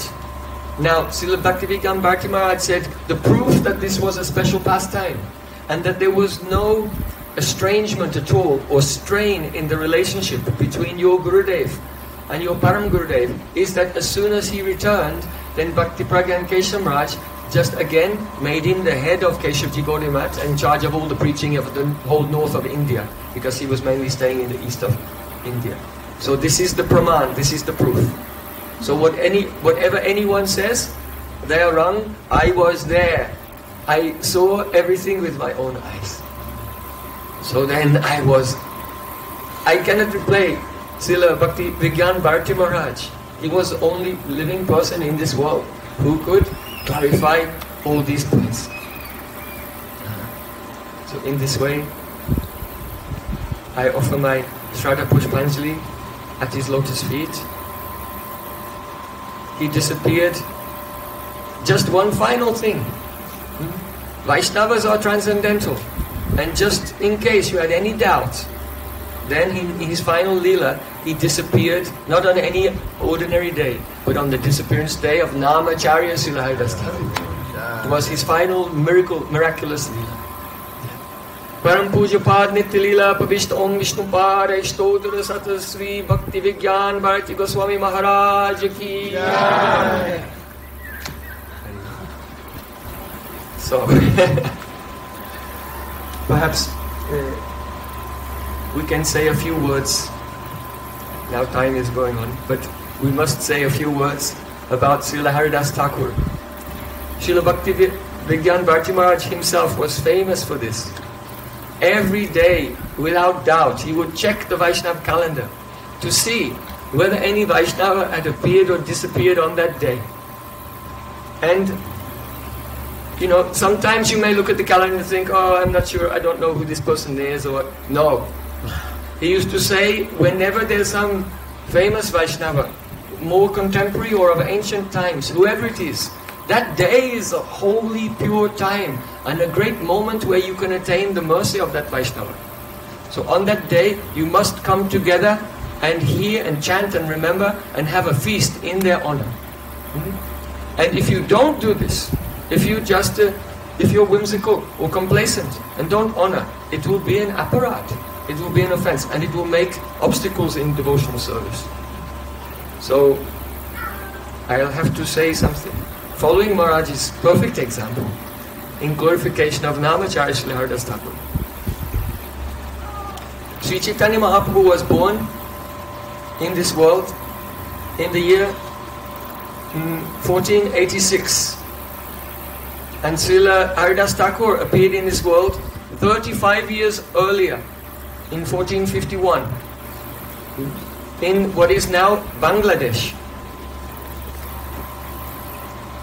He was born in a Muslim family and his parents died when he was very young. He became an orphan. But Vaishnavas gave him shelter and Harinam gave him shelter. So it is said that Srila Haridas Thakur is a combined incarnation of a number of personalities. First of all, Brahma Mahatap, who is the son of Richikamuni. Once his father told him, oh, you should pick Tulsi for offering in the puja to Sri Krishna. And he picked Tulsi and offered it without washing it first. So then his father said, oh, you are not following the rules and regulations of Shastra, so I curse you to become a Malacha. And in his next life, he became a Malacha Muslim, and it was Srila Haridas Thakur. So this personality is there. Another personality is there, Prahlad Maharaj. And also, perhaps you know, after Lord Brahma came and tried to steal away the coward boys and calves of Krishna, but Krishna bewildered him by his mystic potency by Yogamaya. And then Lord Brahma, he apologized. Lord Brahma's offense was worse than Indra's offense. You can say, but Indra tried to smash the whole of Vrindavan and kill everyone. Lord Brahma just took some boys and calves and put them in a cave. No, no. Brahma's offense is worse than Indra's offense. Why? Because what Indra did brought all the Brajavasis together under Giriraj Govardhan. But Brahmaji tried to separate Krishna from his devotees. So you have to see from the perspective of brain, from the perspective of love. So Brahmaji, after offering prayers to Krishna, Krishna would not look at him even. Krishna was silent. And Brahmaji had some doubt. He gave pranam again and again, and then he was flying back to Brahmalok on his swan. But on the way, Brahmaji thought, oh, you know, because one day of Brahma, is thousands and thousands of yugas. One day of Brahma is a thousand cycles of ages. So it means that after Dwar, uh, the Dwapara Yuga, Krishna is here at the end of Dwapara Yuga, then very soon he will appear again as Chaitanya Mahaprabhu. So Brahma was thinking, oh, Krishna will appear again. And I may become proud and bewildered again and make another offense. So he decided, I'll not go back to Satyalok. Let me go to the Dham of Gauranga Mahaprabhu. And Lord Brahma came to Mayapur, Antardvip. And there, Lord Brahma began to call upon the names of Gauranga! And chanting the name of Gauranga Mahaprabhu again and again. After some time, Mahaprabhu, Gauranga Mahaprabhu appeared before him. He said, I am afraid that I will become carried away with false prestige of being the creator of the universe, and I may make offense to you in your pastimes. Please give me a low birth that I may become more humble than a blade of grass. Mahaprabhu said, I bless you that when I appear, before I appear, you will appear. In a very out in an outcast, as a malecha. And you will be very, very humble. And you will assist me in my mission of spreading Harinam Sankirtan everywhere. And Mahaprabhu revealed to, to him what was the inner meaning, the inner purpose of his appearance. Why was Mahaprabhu coming in this world? To spread the Harinam Sankirtan is the external purpose. The internal purpose is that Krishna wants to know the glories of Radhika's praying. The beauty in him that only her eyes full of love can see. And the happiness that Radhika experiences when she tastes the sweetness of Krishna. So because that is the place where the Supreme Lord revealed his antara, his internal purpose of appearance to Lord Brahma, so it is called Antardvip. Then Mahaprabhu disappeared and Brahmaji waited and then in 1451 he appeared in a Muslim family. So the Brahmin boy, Brahma Mahatap and Prahlad Maharaj and Lord Brahma, they're all present in Srila Haridas Thakur. And also Srila Haridas Thakur has his original form as the eternal associate of Mahaprabhu in Nitya Navadvip Dham. And they have entered into that original form, those different personalities. So, Srila Haridas Thakur has so many beautiful pastimes. Perhaps you know that one day there was a Dharma Sabha, a gathering of Vaishnavas, in the house of Govardhan Majumdar, the father of Raghunath Das Goswami, in the village of Adi Saptagram, very close to, on, on the other side of the river from Panihati. So there was a, a gathering of devotees and brahmanas and scholars, and they were having a discussion. So someone said, the holy name is very powerful, it can give mukti liberation. Another person said, no, no, no, the holy name cannot give mukti. It's very difficult to attain mukti, even after many lifetimes. And they were discussing in this way. In the meantime, Srila Haridas Thakur arrived there. So then they asked, oh, Haridas, what is your opinion? Srila Haridas Thakur said, no, no, no. You are saying the holy name cannot give mukti, you are wrong. And you are saying that the holy name can give mukti, you are also wrong. Because the pure holy name, you don't even need the pure holy name to get mukti. Only Nam Abhas. The slight shadow of the name will give mukti. The pure holy name actually gives prem, which is far beyond mukti. Dharma, artha, kama, moksha. Prema is the Parama Purushottam, Panchama Purushartha. Prema, Prema Purushartha, the supreme goal of life. So the holy name gives prem. Only the Abhas of the holy name can give liberation. That means someone saying the name of Krishna but, but using it to refer to someone else without even an intention of addressing God. That will give mukti. So there was one uh, Brahmin who was a tax collector for Govardhan Majumdar because he owned seven villages. And this Brahmin, his name was Gopal Chakravarti. And he used to work for him and he was very highly paid. And he used to collect taxes. But he was a puffed up scholar and a logician. So the logicians can never understand the power of Harinam. Hmm? And he became angry. He said, What do you say? What are you saying? It's very, very difficult to attain mukti after many lifetimes. And you are saying only Nama Bas will give mukti in a moment? This, if it's not true, then your nose should fall off. You should get leprosy, and your nose should fall off. He said, I'll even he said, I'll cut off your nose. Haridas Thakur said, if it's not true, I'll cut off my own nose. No problem. Hmm? So then, Govardhan Majumdar was horrified that a Vaishnava aparad had been committed in his house. Hmm? Because everyone will be destroyed and that place becomes inauspicious. So at once, he begged forgiveness. Oh Haridas, please forgive us. And he had his uh, men, his uh, security, throw Gopal Chakravarti out of that assembly. So Gopal Chakravarti was thrown out. And then he begged forgiveness. Oh Haridas, please forgive us. This is very, so terrible that you have, I invited you to my home and you have been offended here. Haridas Thakur said, I am not offended. Hmm? He is a, a Tarkic person, logician. By logic, no one can understand the glories of the Holy Name. So how can it be expected that he will understand? You don't worry. So Haridas Thakur was very humbling, humble and very forgiving. So Vaishnav will forgive an offense. But Krishna does not forgive.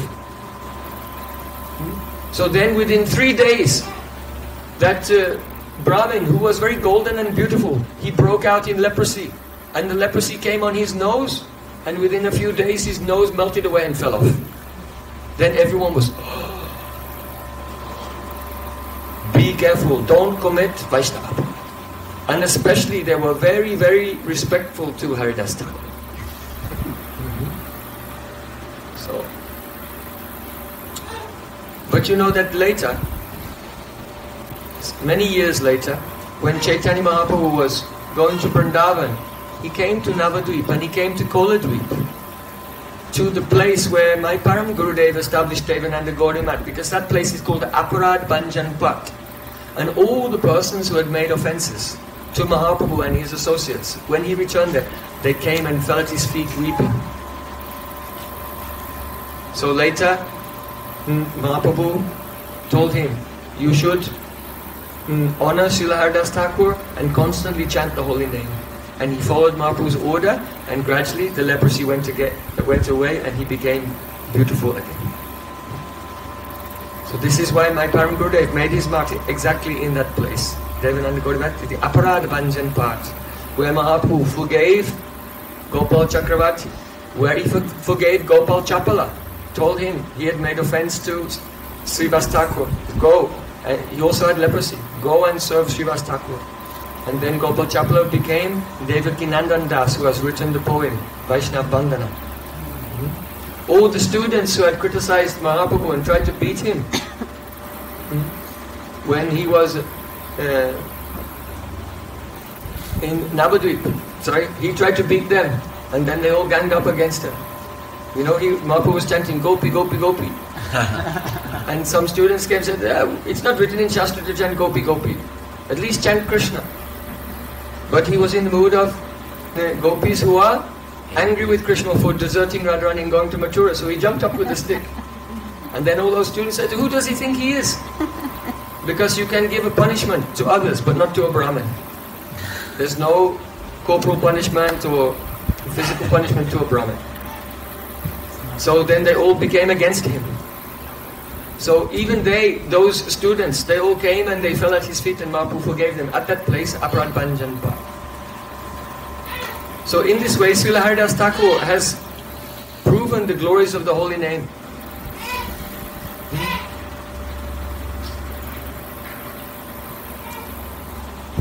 Once, there was one landholder named Ramachandra Khan. And he wanted to be very popular, that all the people living on his land, they should give honor to him. But to whom were they giving honor? To a Muslim. Haridas Thakur. He was thinking, this person is renounced, he has no money, he's not giving them, he's not bribing them, why is he so popular? I am very rich and I'm doing favors for everyone to get popularity. But no one loves me and they all love him. Hmm. But I think he's not a real sadhu. So I'll prove it. So then he called a number of prostitutes. And they were standing in a line. And he said, I have a mission for you. And I'll reward you very handsomely with great wealth. I want someone to volunteer to go in the middle of the night to the Bhajan Kutir of Haridas Thakur and seduce him and make him fall down. And then I'll come with my men and arrest him for being an impostor. So then, none of the prostitutes wanted to do this. But one of them stepped forward. I'll do it. Her name was Lakshahira. So they made a deal. But she knew that Haridas Thakur, that this is before the appearance of Mahaprabhu. He was very, very young and handsome and beautiful. So she said, just allow me to spend one night with him. Then the next time you should come with your soldiers and, and arrest him. So they agreed. And Srila Haridas Thakur in the middle of the night was chanting. And she appeared in the door of his bhajan kutir, dressed in a very seductive way, in a very revealing way, and speaking very provo- provocatively. He said, Oh Haridas, you are so handsome. What young, young woman could ever resist you? Please accept me. I want to serve you. Haridas Thakur said, Yes, please come, sit down. I have made a vow to chant a billion now. And I've almost finished. So just sit there, and as soon as I finish my rapt, then I will satisfy you. So then she sat down, and two were sitting there in front of Tulsi, and Haridas Thakur was chanting the holy name, Shuddha Nam, Hare Krishna, Hare Krishna, Krishna Krishna, Hare Hare, Hare Ram, Hare Ram, Ram whole night, when she saw the sun was rising and people may come to visit him, she became shy, and she gave, she gave pranam and she left. Then the next day in the night she came. There was a Tulsi outside his bhajan kutir. She gave pranam to Tulsi and came in. Oh, Haridas Thakur apologized. I've almost finished. Just please sit down. So then she sat down. Hare Krishna, Hare Krishna, Krishna Krishna, Hare Hare, Ram, Hare Ram, Ram Ram, Hare. Whole night passed again. She gave pranam and she went away. Ramachandra Khan was becoming quite impatient. He said, When can I arrest him? She said, Look, he has a vow and he's nearly finished.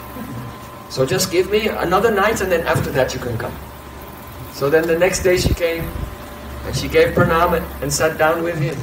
But now this time, by the power of his pure chanting, she was also sitting in Hare Krishna, Hare Krishna, Krishna Krishna, Hare Hare, Hare Ram, Hare Ram, Ram Ram. And she began to chant also, and tears began to flow from her eyes. Then she gave pranam and she said, Oh Haridas, please forgive me, please forgive me. I am very offensive. Actually, I have been employed by Ramachandra Khan to compromise your integrity and bring ill fame upon you. Please forgive me for my offense. Haridas Thakur said, From the very first day that you came here, I knew why you had come. Hmm? Only I asked you, please sit and chant to purify you. Hmm? She said, Oh, please accept me as your disciple. So then Haridas Thakur said, You should go home and all the money that you have earned from your mm, profession, this is all contaminated from lusty persons. You should distribute this to Karmakanda Brahmanas. And then, oh, keeping on all your jewels and fancy clothing you should give away and keep only one white cloth. And then come back here. So then she went away, she distributed all of her ill-gotten gains to the Karmakanda Brahmanas. She shaved her head also and uh, keeping only simple white cloths, she came back to Srila Haridas Thakur. So then he gave her Tulsi and said, sit here and chant continuously in front of Tulsi. And then Haridas Thakur, he got up and he went away. Very soon, she was chanting and heart melting and she realized Krishna praying by the mercy of Srila Haridas Thakur. And now all the villagers were coming to see her and give pranam and pranami. Ramachandra Khan was furious. I wanted to be more popular than Haridas. And what is the result now? This low-class prostitute is more popular than me. Everyone is honoring her. Huh? He was so upset. So, in this way, because he made Vaishnav aparad, then the effect of this offense grew in his heart more and more.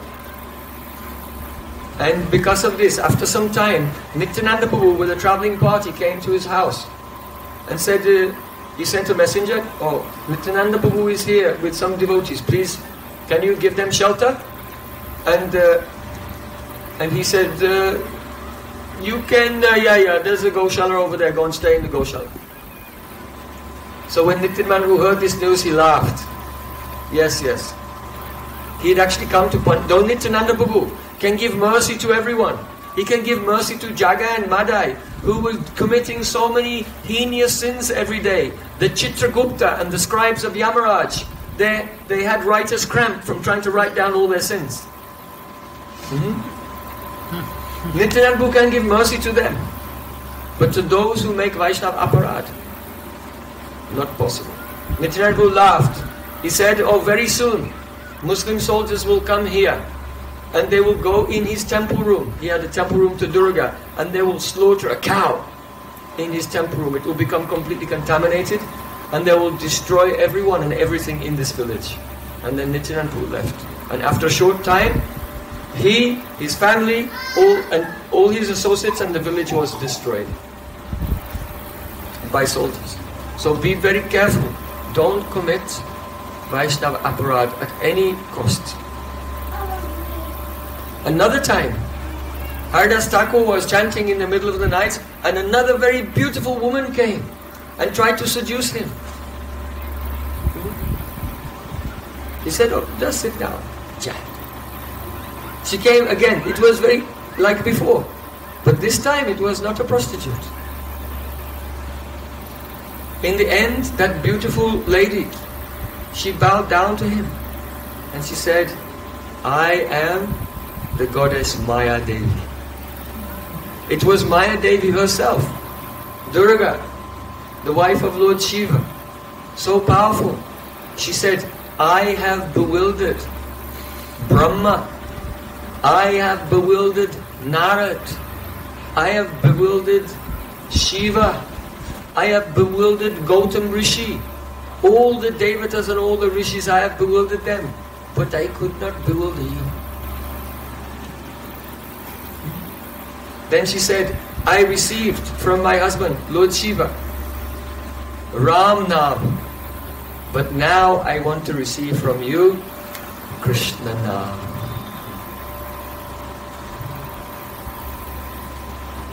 The teaching here is this that Krishna Nam is much more powerful than the Nam of Lord Ramachandra, Sitapati, Raghunath, Raghupati Raghava Raja Ram, Patita Pavana Sita Ram. Krishna is more powerful. Hmm? Krishna is more loving. You know that Sita has so much love for Lord Ram. But hearing the words of a washerman, the critical words of a washerman, then Lord Ram banished her, sent her to the forest. Hmm? So Ram, because he's Maryada Purushottam, he always follows Maryada. Then he can reject you. But Krishna is Prema Purushottama. For the sake of love, he can transgress any Maryada. He can transgress any boundaries. Perhaps you know, there were 16,000 princesses and they'd been kidnapped by Narakasur. And they were staying in his palace. So, just like Ram, he sent Sita to the forest. Why? Because there was a doubt about her chastity in the not in Ram, but in the public. Because she had been captured by Ravan and stayed in the Ashok Batika in Lanka. Hmm? So similarly, in Krishna Lila, not one princess like Sita, but 16,000 princesses had been captured by the demon Narakasur. And Krishna came there and killed Narakasur. And he freed those princesses. And then Krishna said, Oh, you tell me where you want to go. I can take you to your father's house. Or if you have a fiance, I can take you to a prince and you can be married. So then all those princesses were crying. They said, according to Vedic culture, a woman cannot stay in the place of another man other than her husband.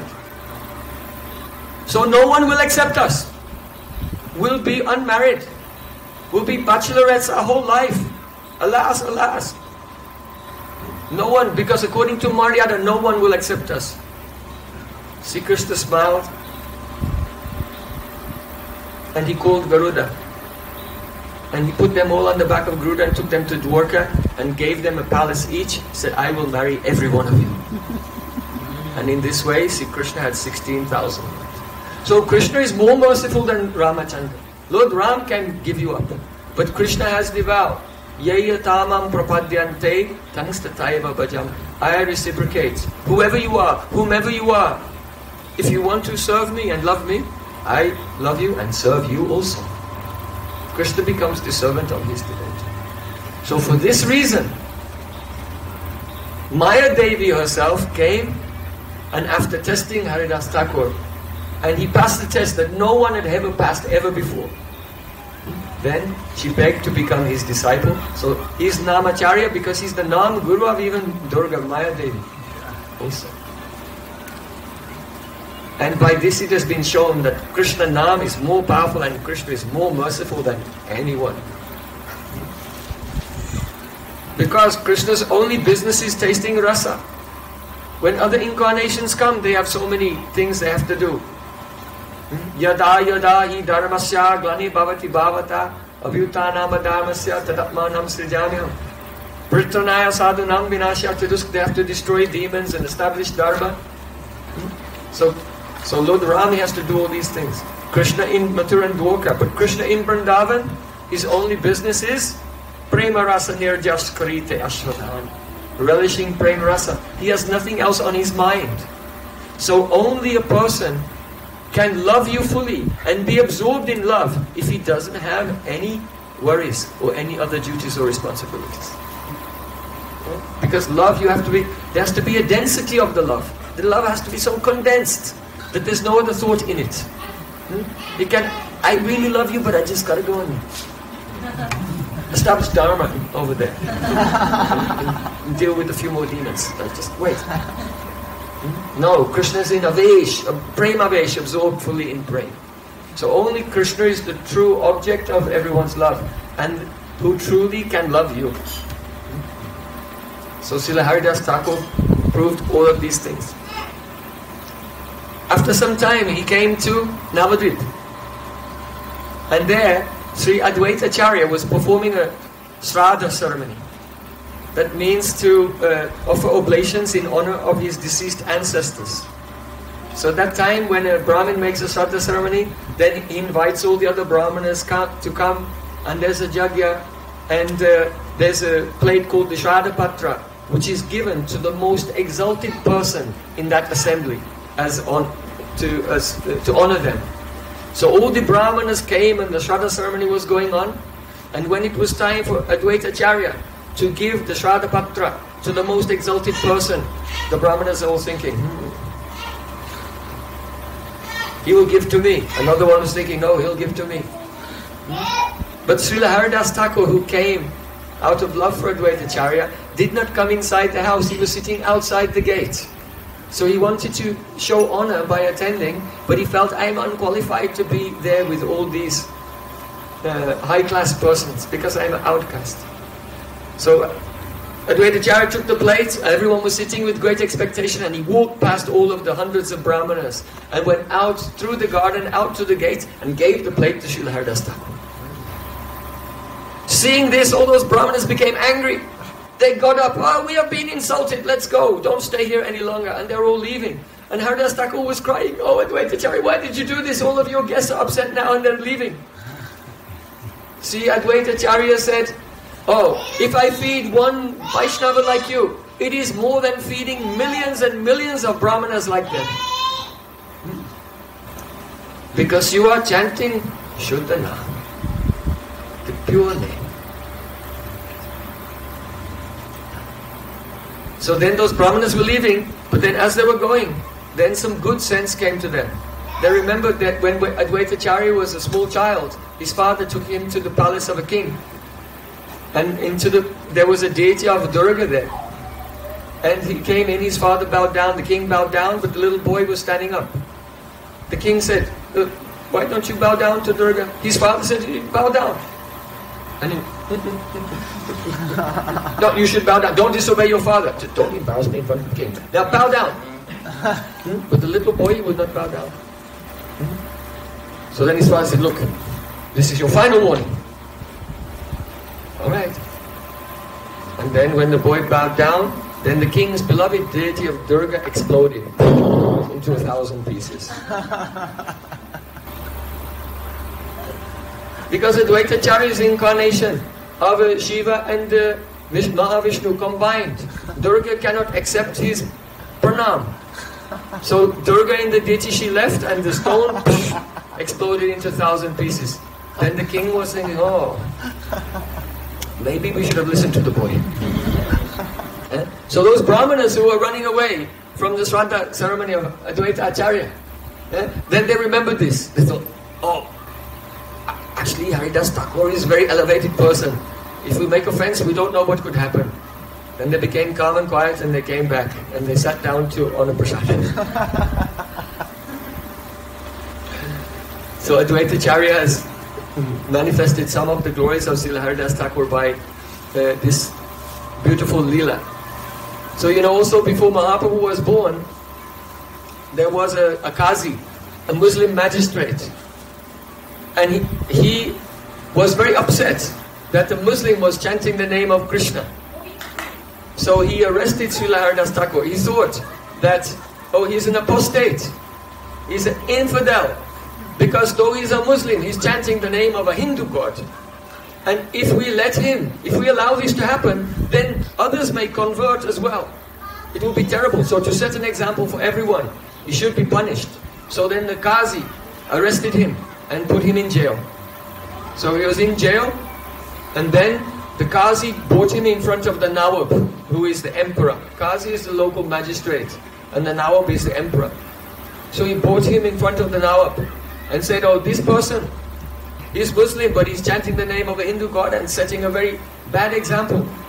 So he should be punished. So then the king said, Oh, why are you doing this?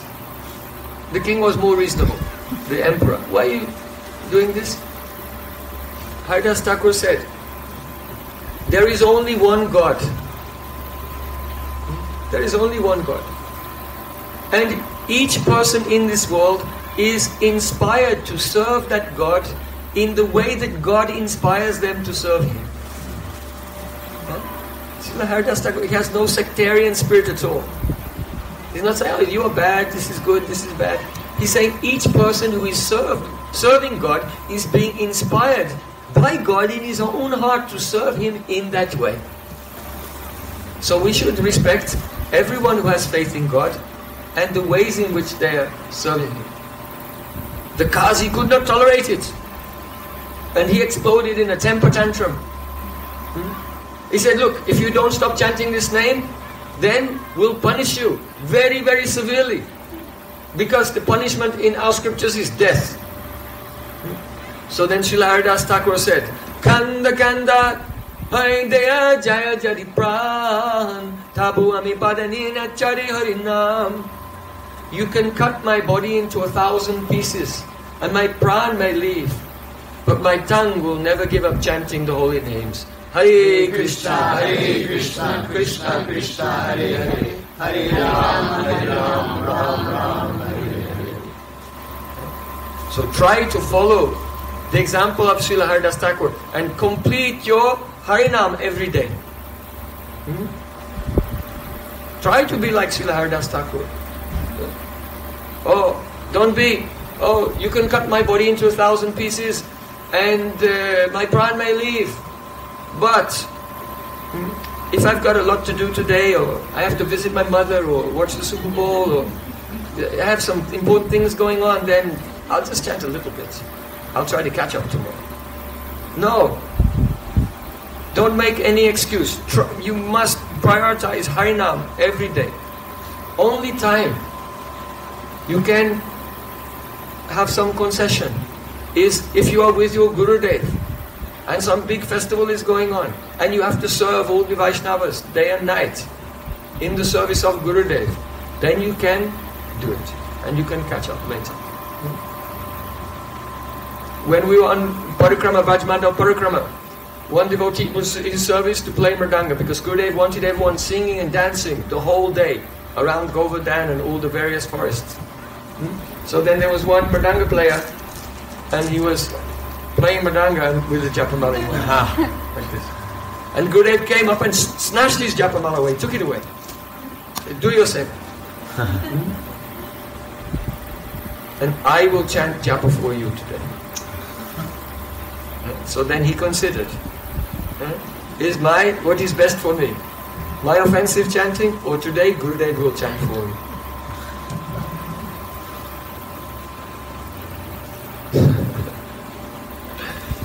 So, Haribol Prabhu, you know who you are.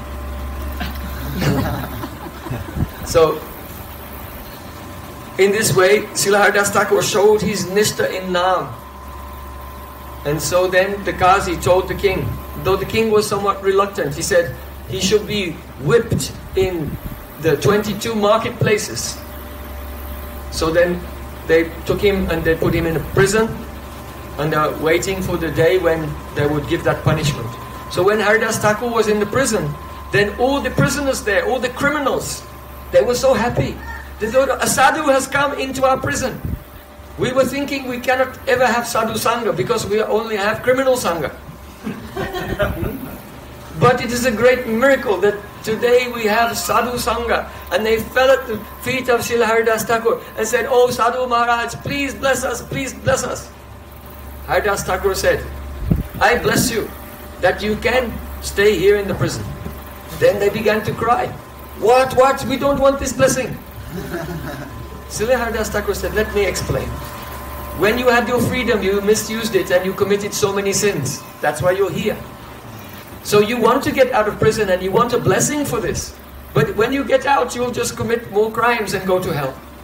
So it's better that you stay here, you keep out of trouble, and chant Hare Krishna, Hare Krishna, Krishna Krishna, Hare Hare, Hare Rama, Hare Rama, Rama Rama, Hare Hare, and make your life perfect.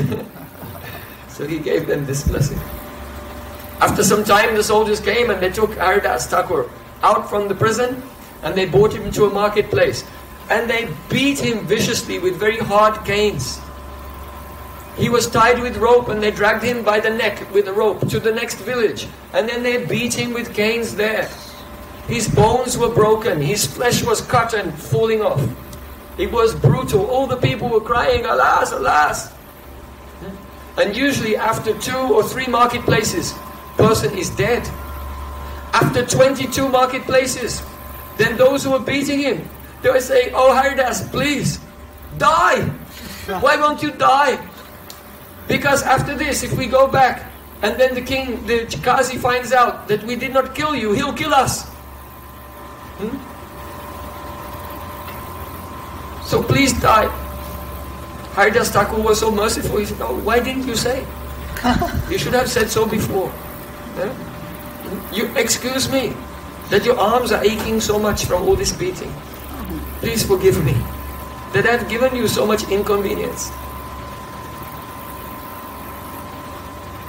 Because Srila Haridas Thakur understands Trinada peace Chaina peace Suna Amanina Madena Kirtanya Sadati to be more humble than a blade of grass, to tolerate everything like a tree. If someone throws a stone at a tree, then the fruit will fall down the tree. Oh, yeah, take a fruit. The tree will give to those who are beating. So Haridas Thakur is like this. He understands because he is incarnation of Lord Brahma. Lord Brahma prayed to Krishna. Tathainukam pamsu sumikshamano bunjana evatma kritam vipakam redvava pubi vididan namaste jiveti yo mukti pade sudaya bhak. Today they sent out a lecture of my Gurudev online of, of Haridas Thakur's glories. So then I opened it to see. I want what, remember what Gurudev has said on that day. So then I opened it and I read, and Gurudev said, Prem Prayojan, stand up and tell the story. it was my, my own kata. then, it, oh yes, I remember that. so,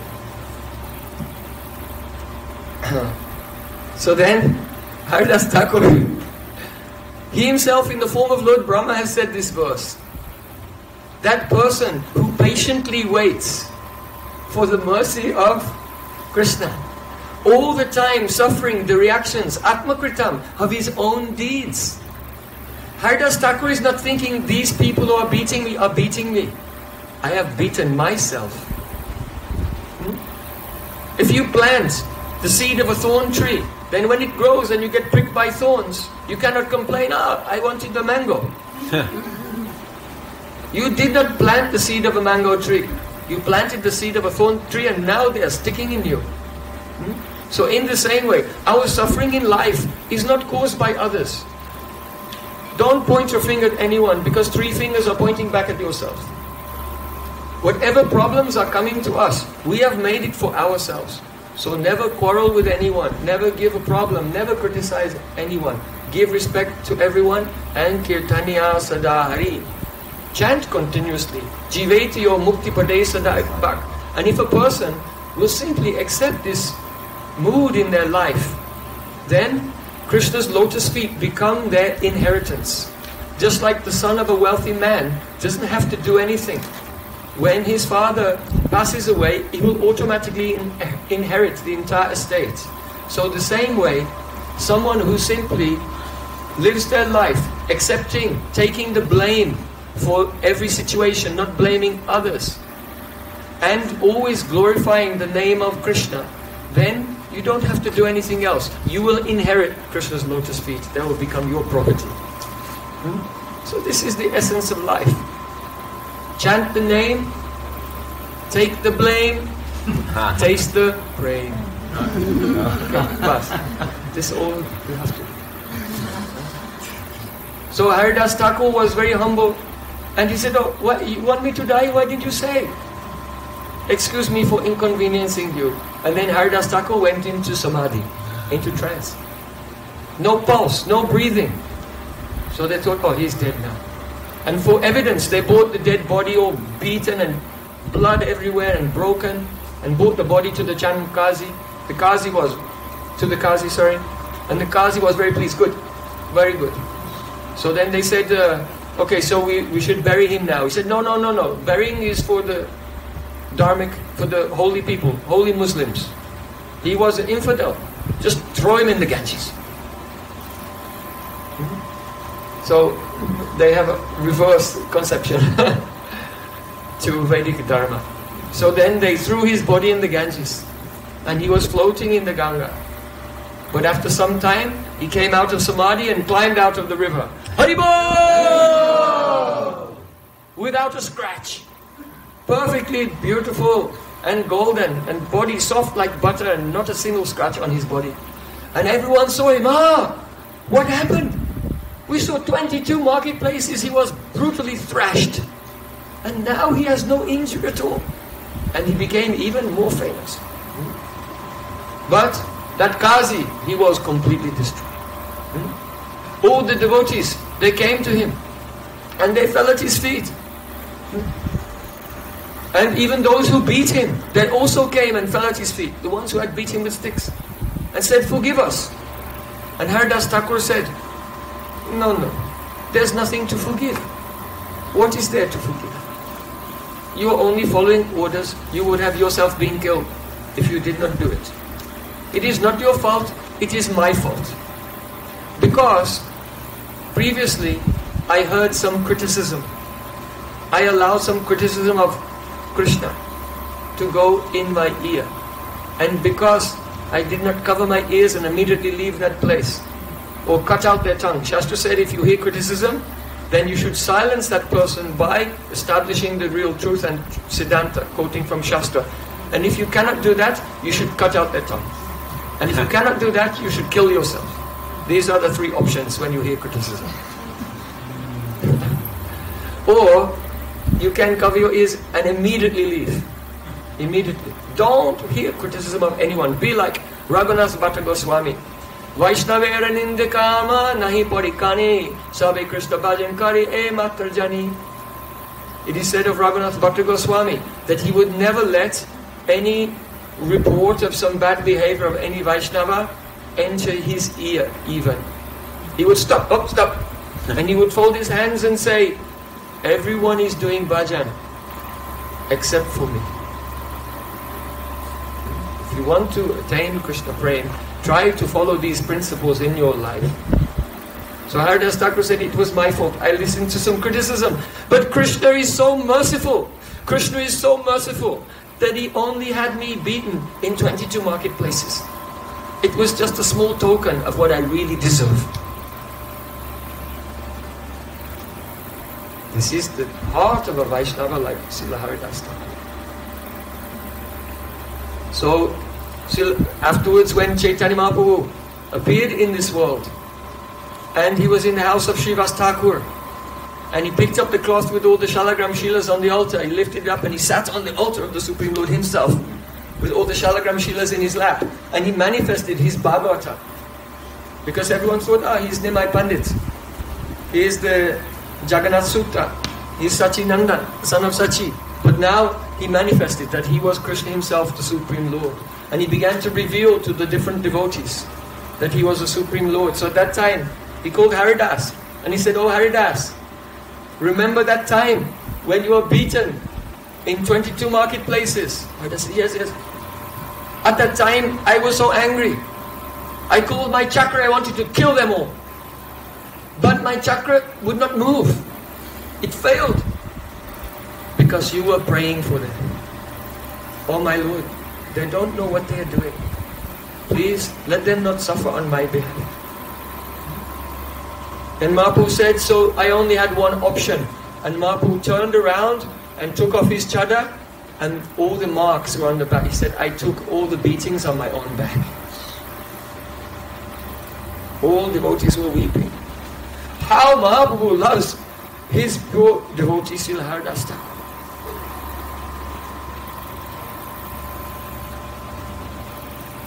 Suno Suno Nityananda Suno Haridas Savatra mm, Amara agya Karo Savatra pakash Gari Gari Gya Magiye Bhiksha Bolo Krishna Bajo Krishna Karo Krishna Shiksha Mapu said, hey, listen, Nityananda, oh listen, Haridas, I want you to manifest my order everywhere. I want you to go door to door begging. For what? Just beg people from people this.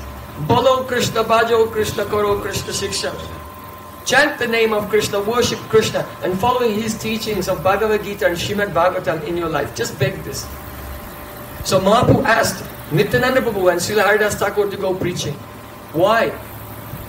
Because Nityananda Prabhu is from a very high-class Brahmin family in the Shandilya Gotra. You know, Nityananda Prabhu, his actual passport name is uh, Kuver Bandhupadhyay. So he's from very high caste. And Haridas Thakur is from out, outcasts. So someone may say, oh, this Sankirtan, if, they, if, if you go preaching, if only Nityananda Prabhu will go preaching, then the low caste people say, oh, that's okay for you Brahmanas, but this is not for us. And if a low caste person will go preaching, then the high caste persons will say, ah, this is low caste activity, this Harinam Sankirtan and everything. We won't do it. So Mahaprabhu deliberately chose the highest rung of society and the lowest rung of society to go preaching together. That everyone, the whole spectrum of society will accept their teaching. So there are many beautiful pastimes of Haridas Thakur and Nityananda Prabhu. On another day, we can discuss them. But you see how Haridas Thakur was very active. Not only was he chanting 300,000 names, hmm, he was chanting 192 rounds of japa every day. 3 lakhs Harinam. It's a bit more, actually he was chanting more than 3 lakhs. So, he was chanting this every day, but he also went for preaching. And so Srila Sanatan Goswami Pad has glorified him. Srila Sanatan Goswami Pad said to Haridas Thakur that Prachar Namer Karaha Dui Karya Tumi Sarva Guru Tumi Jagatera Arya Hey Haridas, there are some persons who preach, but they're not doing bhajan. They're not chanting. And there are some persons who are chanting, but they don't preach. But you, Achar, that is your own practice, Prachar and preaching, Namer Karya. You're doing the two karya, the two duties to Nam Prabhu.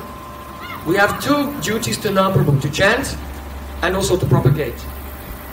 So he said, you are perfect in your preaching and perfect in your practice. Therefore, to me, Sarva Guru, to me, Jagatera Arya, you are the best of all persons in the world and you are the Guru of the whole universe.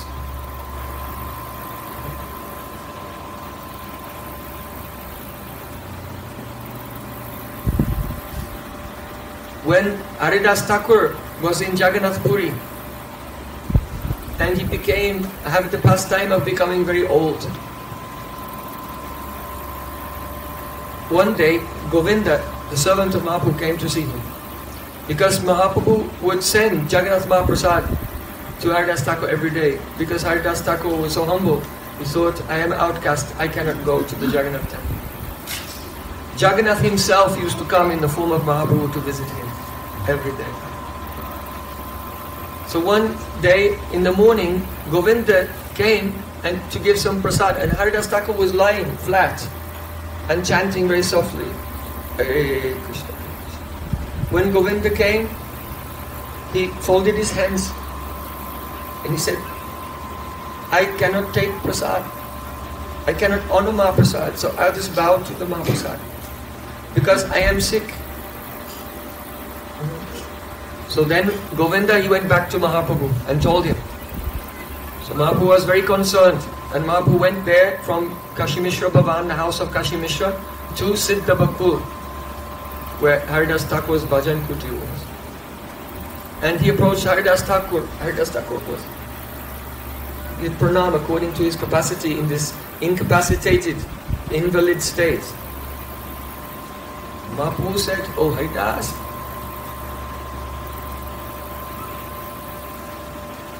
Are you not well? What is your illness? Haridas Thakur said, My Lord, my illness is that I cannot complete my fixed number of rounds. Mahaprabhu said, Oh Haridas, now you are old. Please reduce the number of rounds you are chanting. You are mukta, a liberated person. And your whole life you have chanted perfectly and you have preached perfectly. Now you reduce something. Haridas said, I have one request of you, my Lord. Please, can you fulfill my request? Mahaprabhu said, What can I do for you? Thakur said, I know that soon you will complete your pastimes in this world and I cannot tolerate it. So be very merciful to me. Allow me to go first. If you will go, it will be too painful. Allow me to go first. Mahaprabhu said, it is not right that you should ask for this. Haridas Thakur said, there are so many insects, there are so many ants in this world, millions wandering here and there. If one ant will die, then what loss is it to the world? So in the same way, if I will die, there's no loss.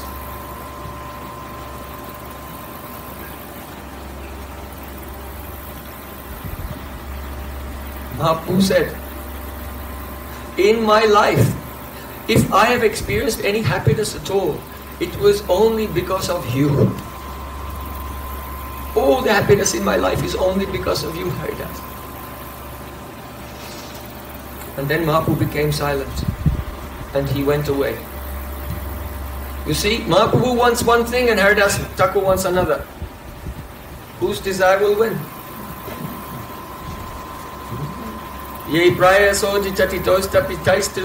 Even though Krishna is Ajit, unconquerable, but he is defeated and conquered by that his pure devotee who is always absorbed in Harinam, Rup, Gun, Lila, hearing, chanting and whatever. So Mahaprabhu went away, but then later he came back with all of his associates and with Kirtan. And he approached Srila Haridas Thakur and sat down beside him. And all the devotees were loudly chanting. Hare Krishna, Hare Krishna, Krishna Krishna, Hare Hare, Hare Rama, Hare Rama, Rama Rama, Hare Hare, Hare Krishna, Hare Krishna, Krishna Krishna, Hare Hare, Hare Rama, Hare Rama, Hare Hare. And Srila Haridas Thakur took the lotus feet of Mahaprabhu onto his heart and looking in the lotus eyes of Mahaprabhu, he called out, Sri Krishna Chaitanya, Sri Krishna Chaitanya, Sri Krishna.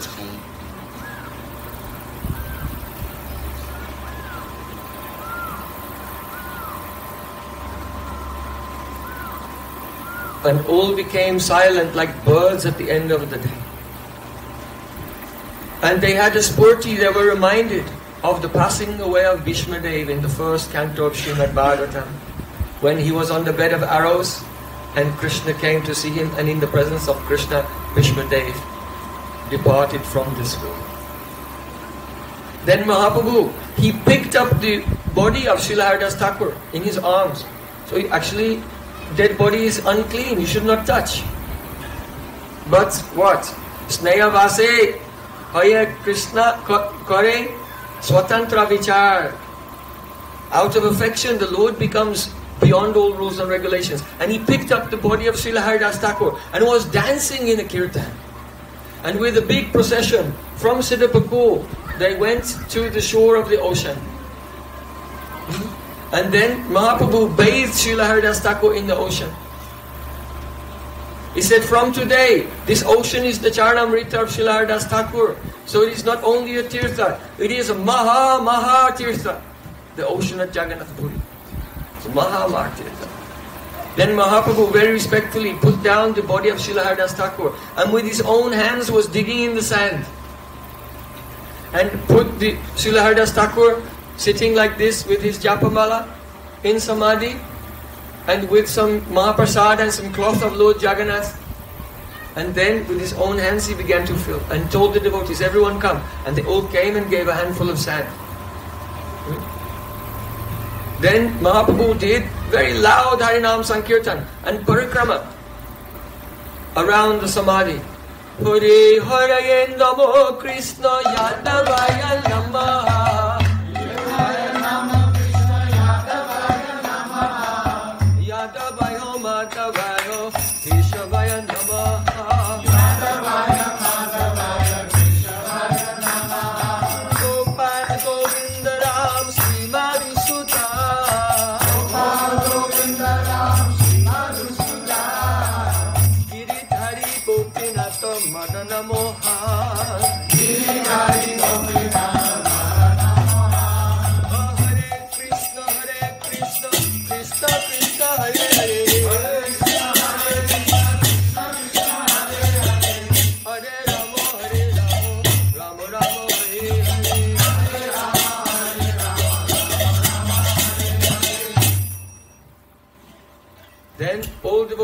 gave Dandavat Pranam at the Samadhi of Srila Haridas Thakur. And then Mahaprabhu went into the town to all the shopkeepers with his own cloth and was begging Jagannath Mahaprasad to collect for his feast. So after Mahaprabhu had collected so much, Swarup Damodar was always protecting him. He said, oh give me this. And he took and gave to some servants and then other servants were also begging and collecting. And they brought all the Mahaprasad to the Samadhi. Mahaprabhu personally put down all the leaf plates and made all the devotees sit down in lines. And with his own hand, he was serving everyone Mahaprasada. And when everyone's plates were served, then Swarup Damodar Swami said, My Lord, please sit down. No one will eat without you. So then he made Mahaprabhu sit down and he took Mahaprasadam. This is the Tirobhav Mahotsava, disappearance festival. We're observed, just now we'll also serve prasadam. This is part of the, the way to honor the disappearance of a Vaishnava. And all took Mahaprasadam. Then Mahaprabhu, he began to glorify Srila Haridas Thakur as if he had five mouths all speaking at once. He said, Haridas Thakur was a great jewel in this world. Today the sun has set with his disappearance and the world has lost a great jewel. Anyone who has danced and sung in the kirtan here today, anyone who has put one hand of sand in the samadhi of Haridas Thakur, anyone who has done his parikrama, anyone who has tasted the Mahaprasada in his honor, in this Tirobhav Mahotsav, all of them, all of you will attain Krishna Prem. Haribo!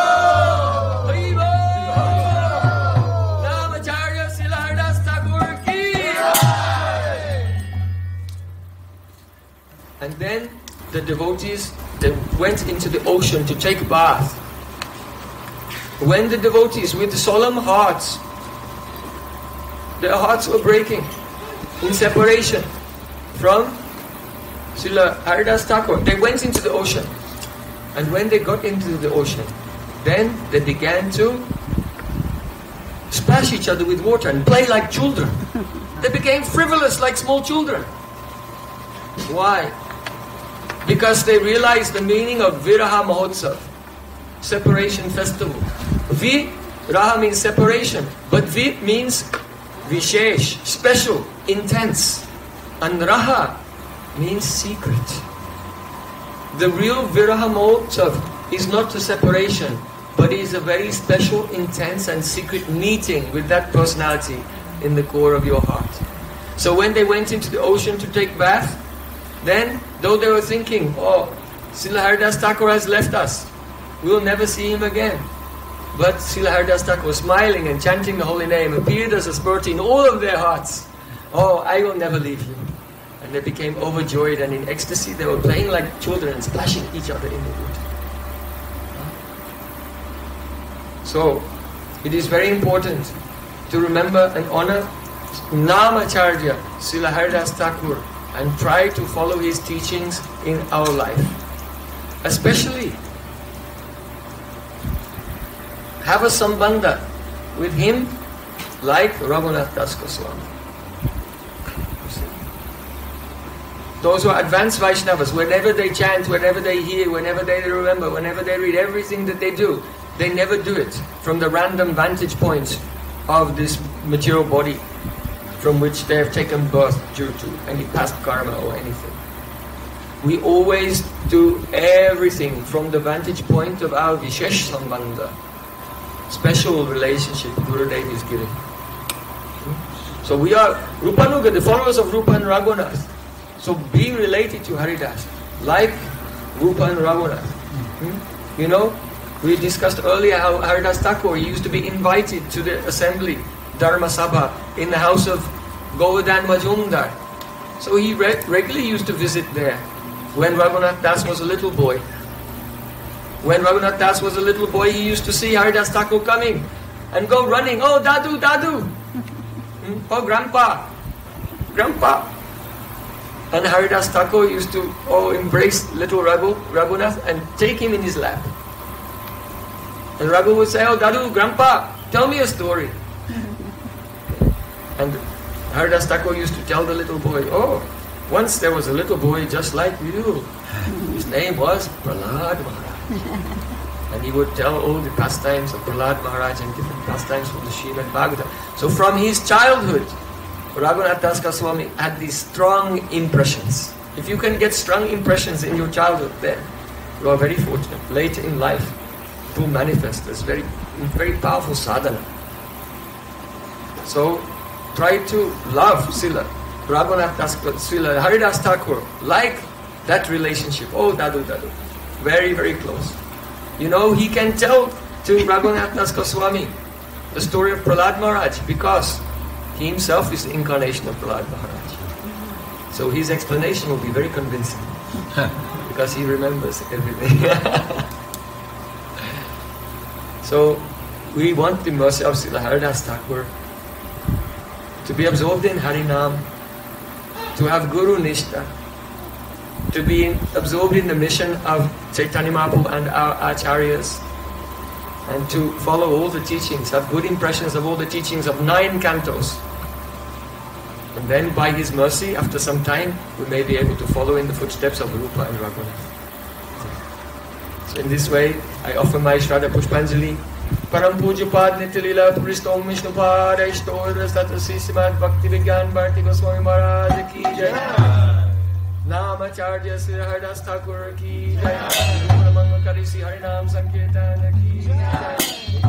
Gaur Premanande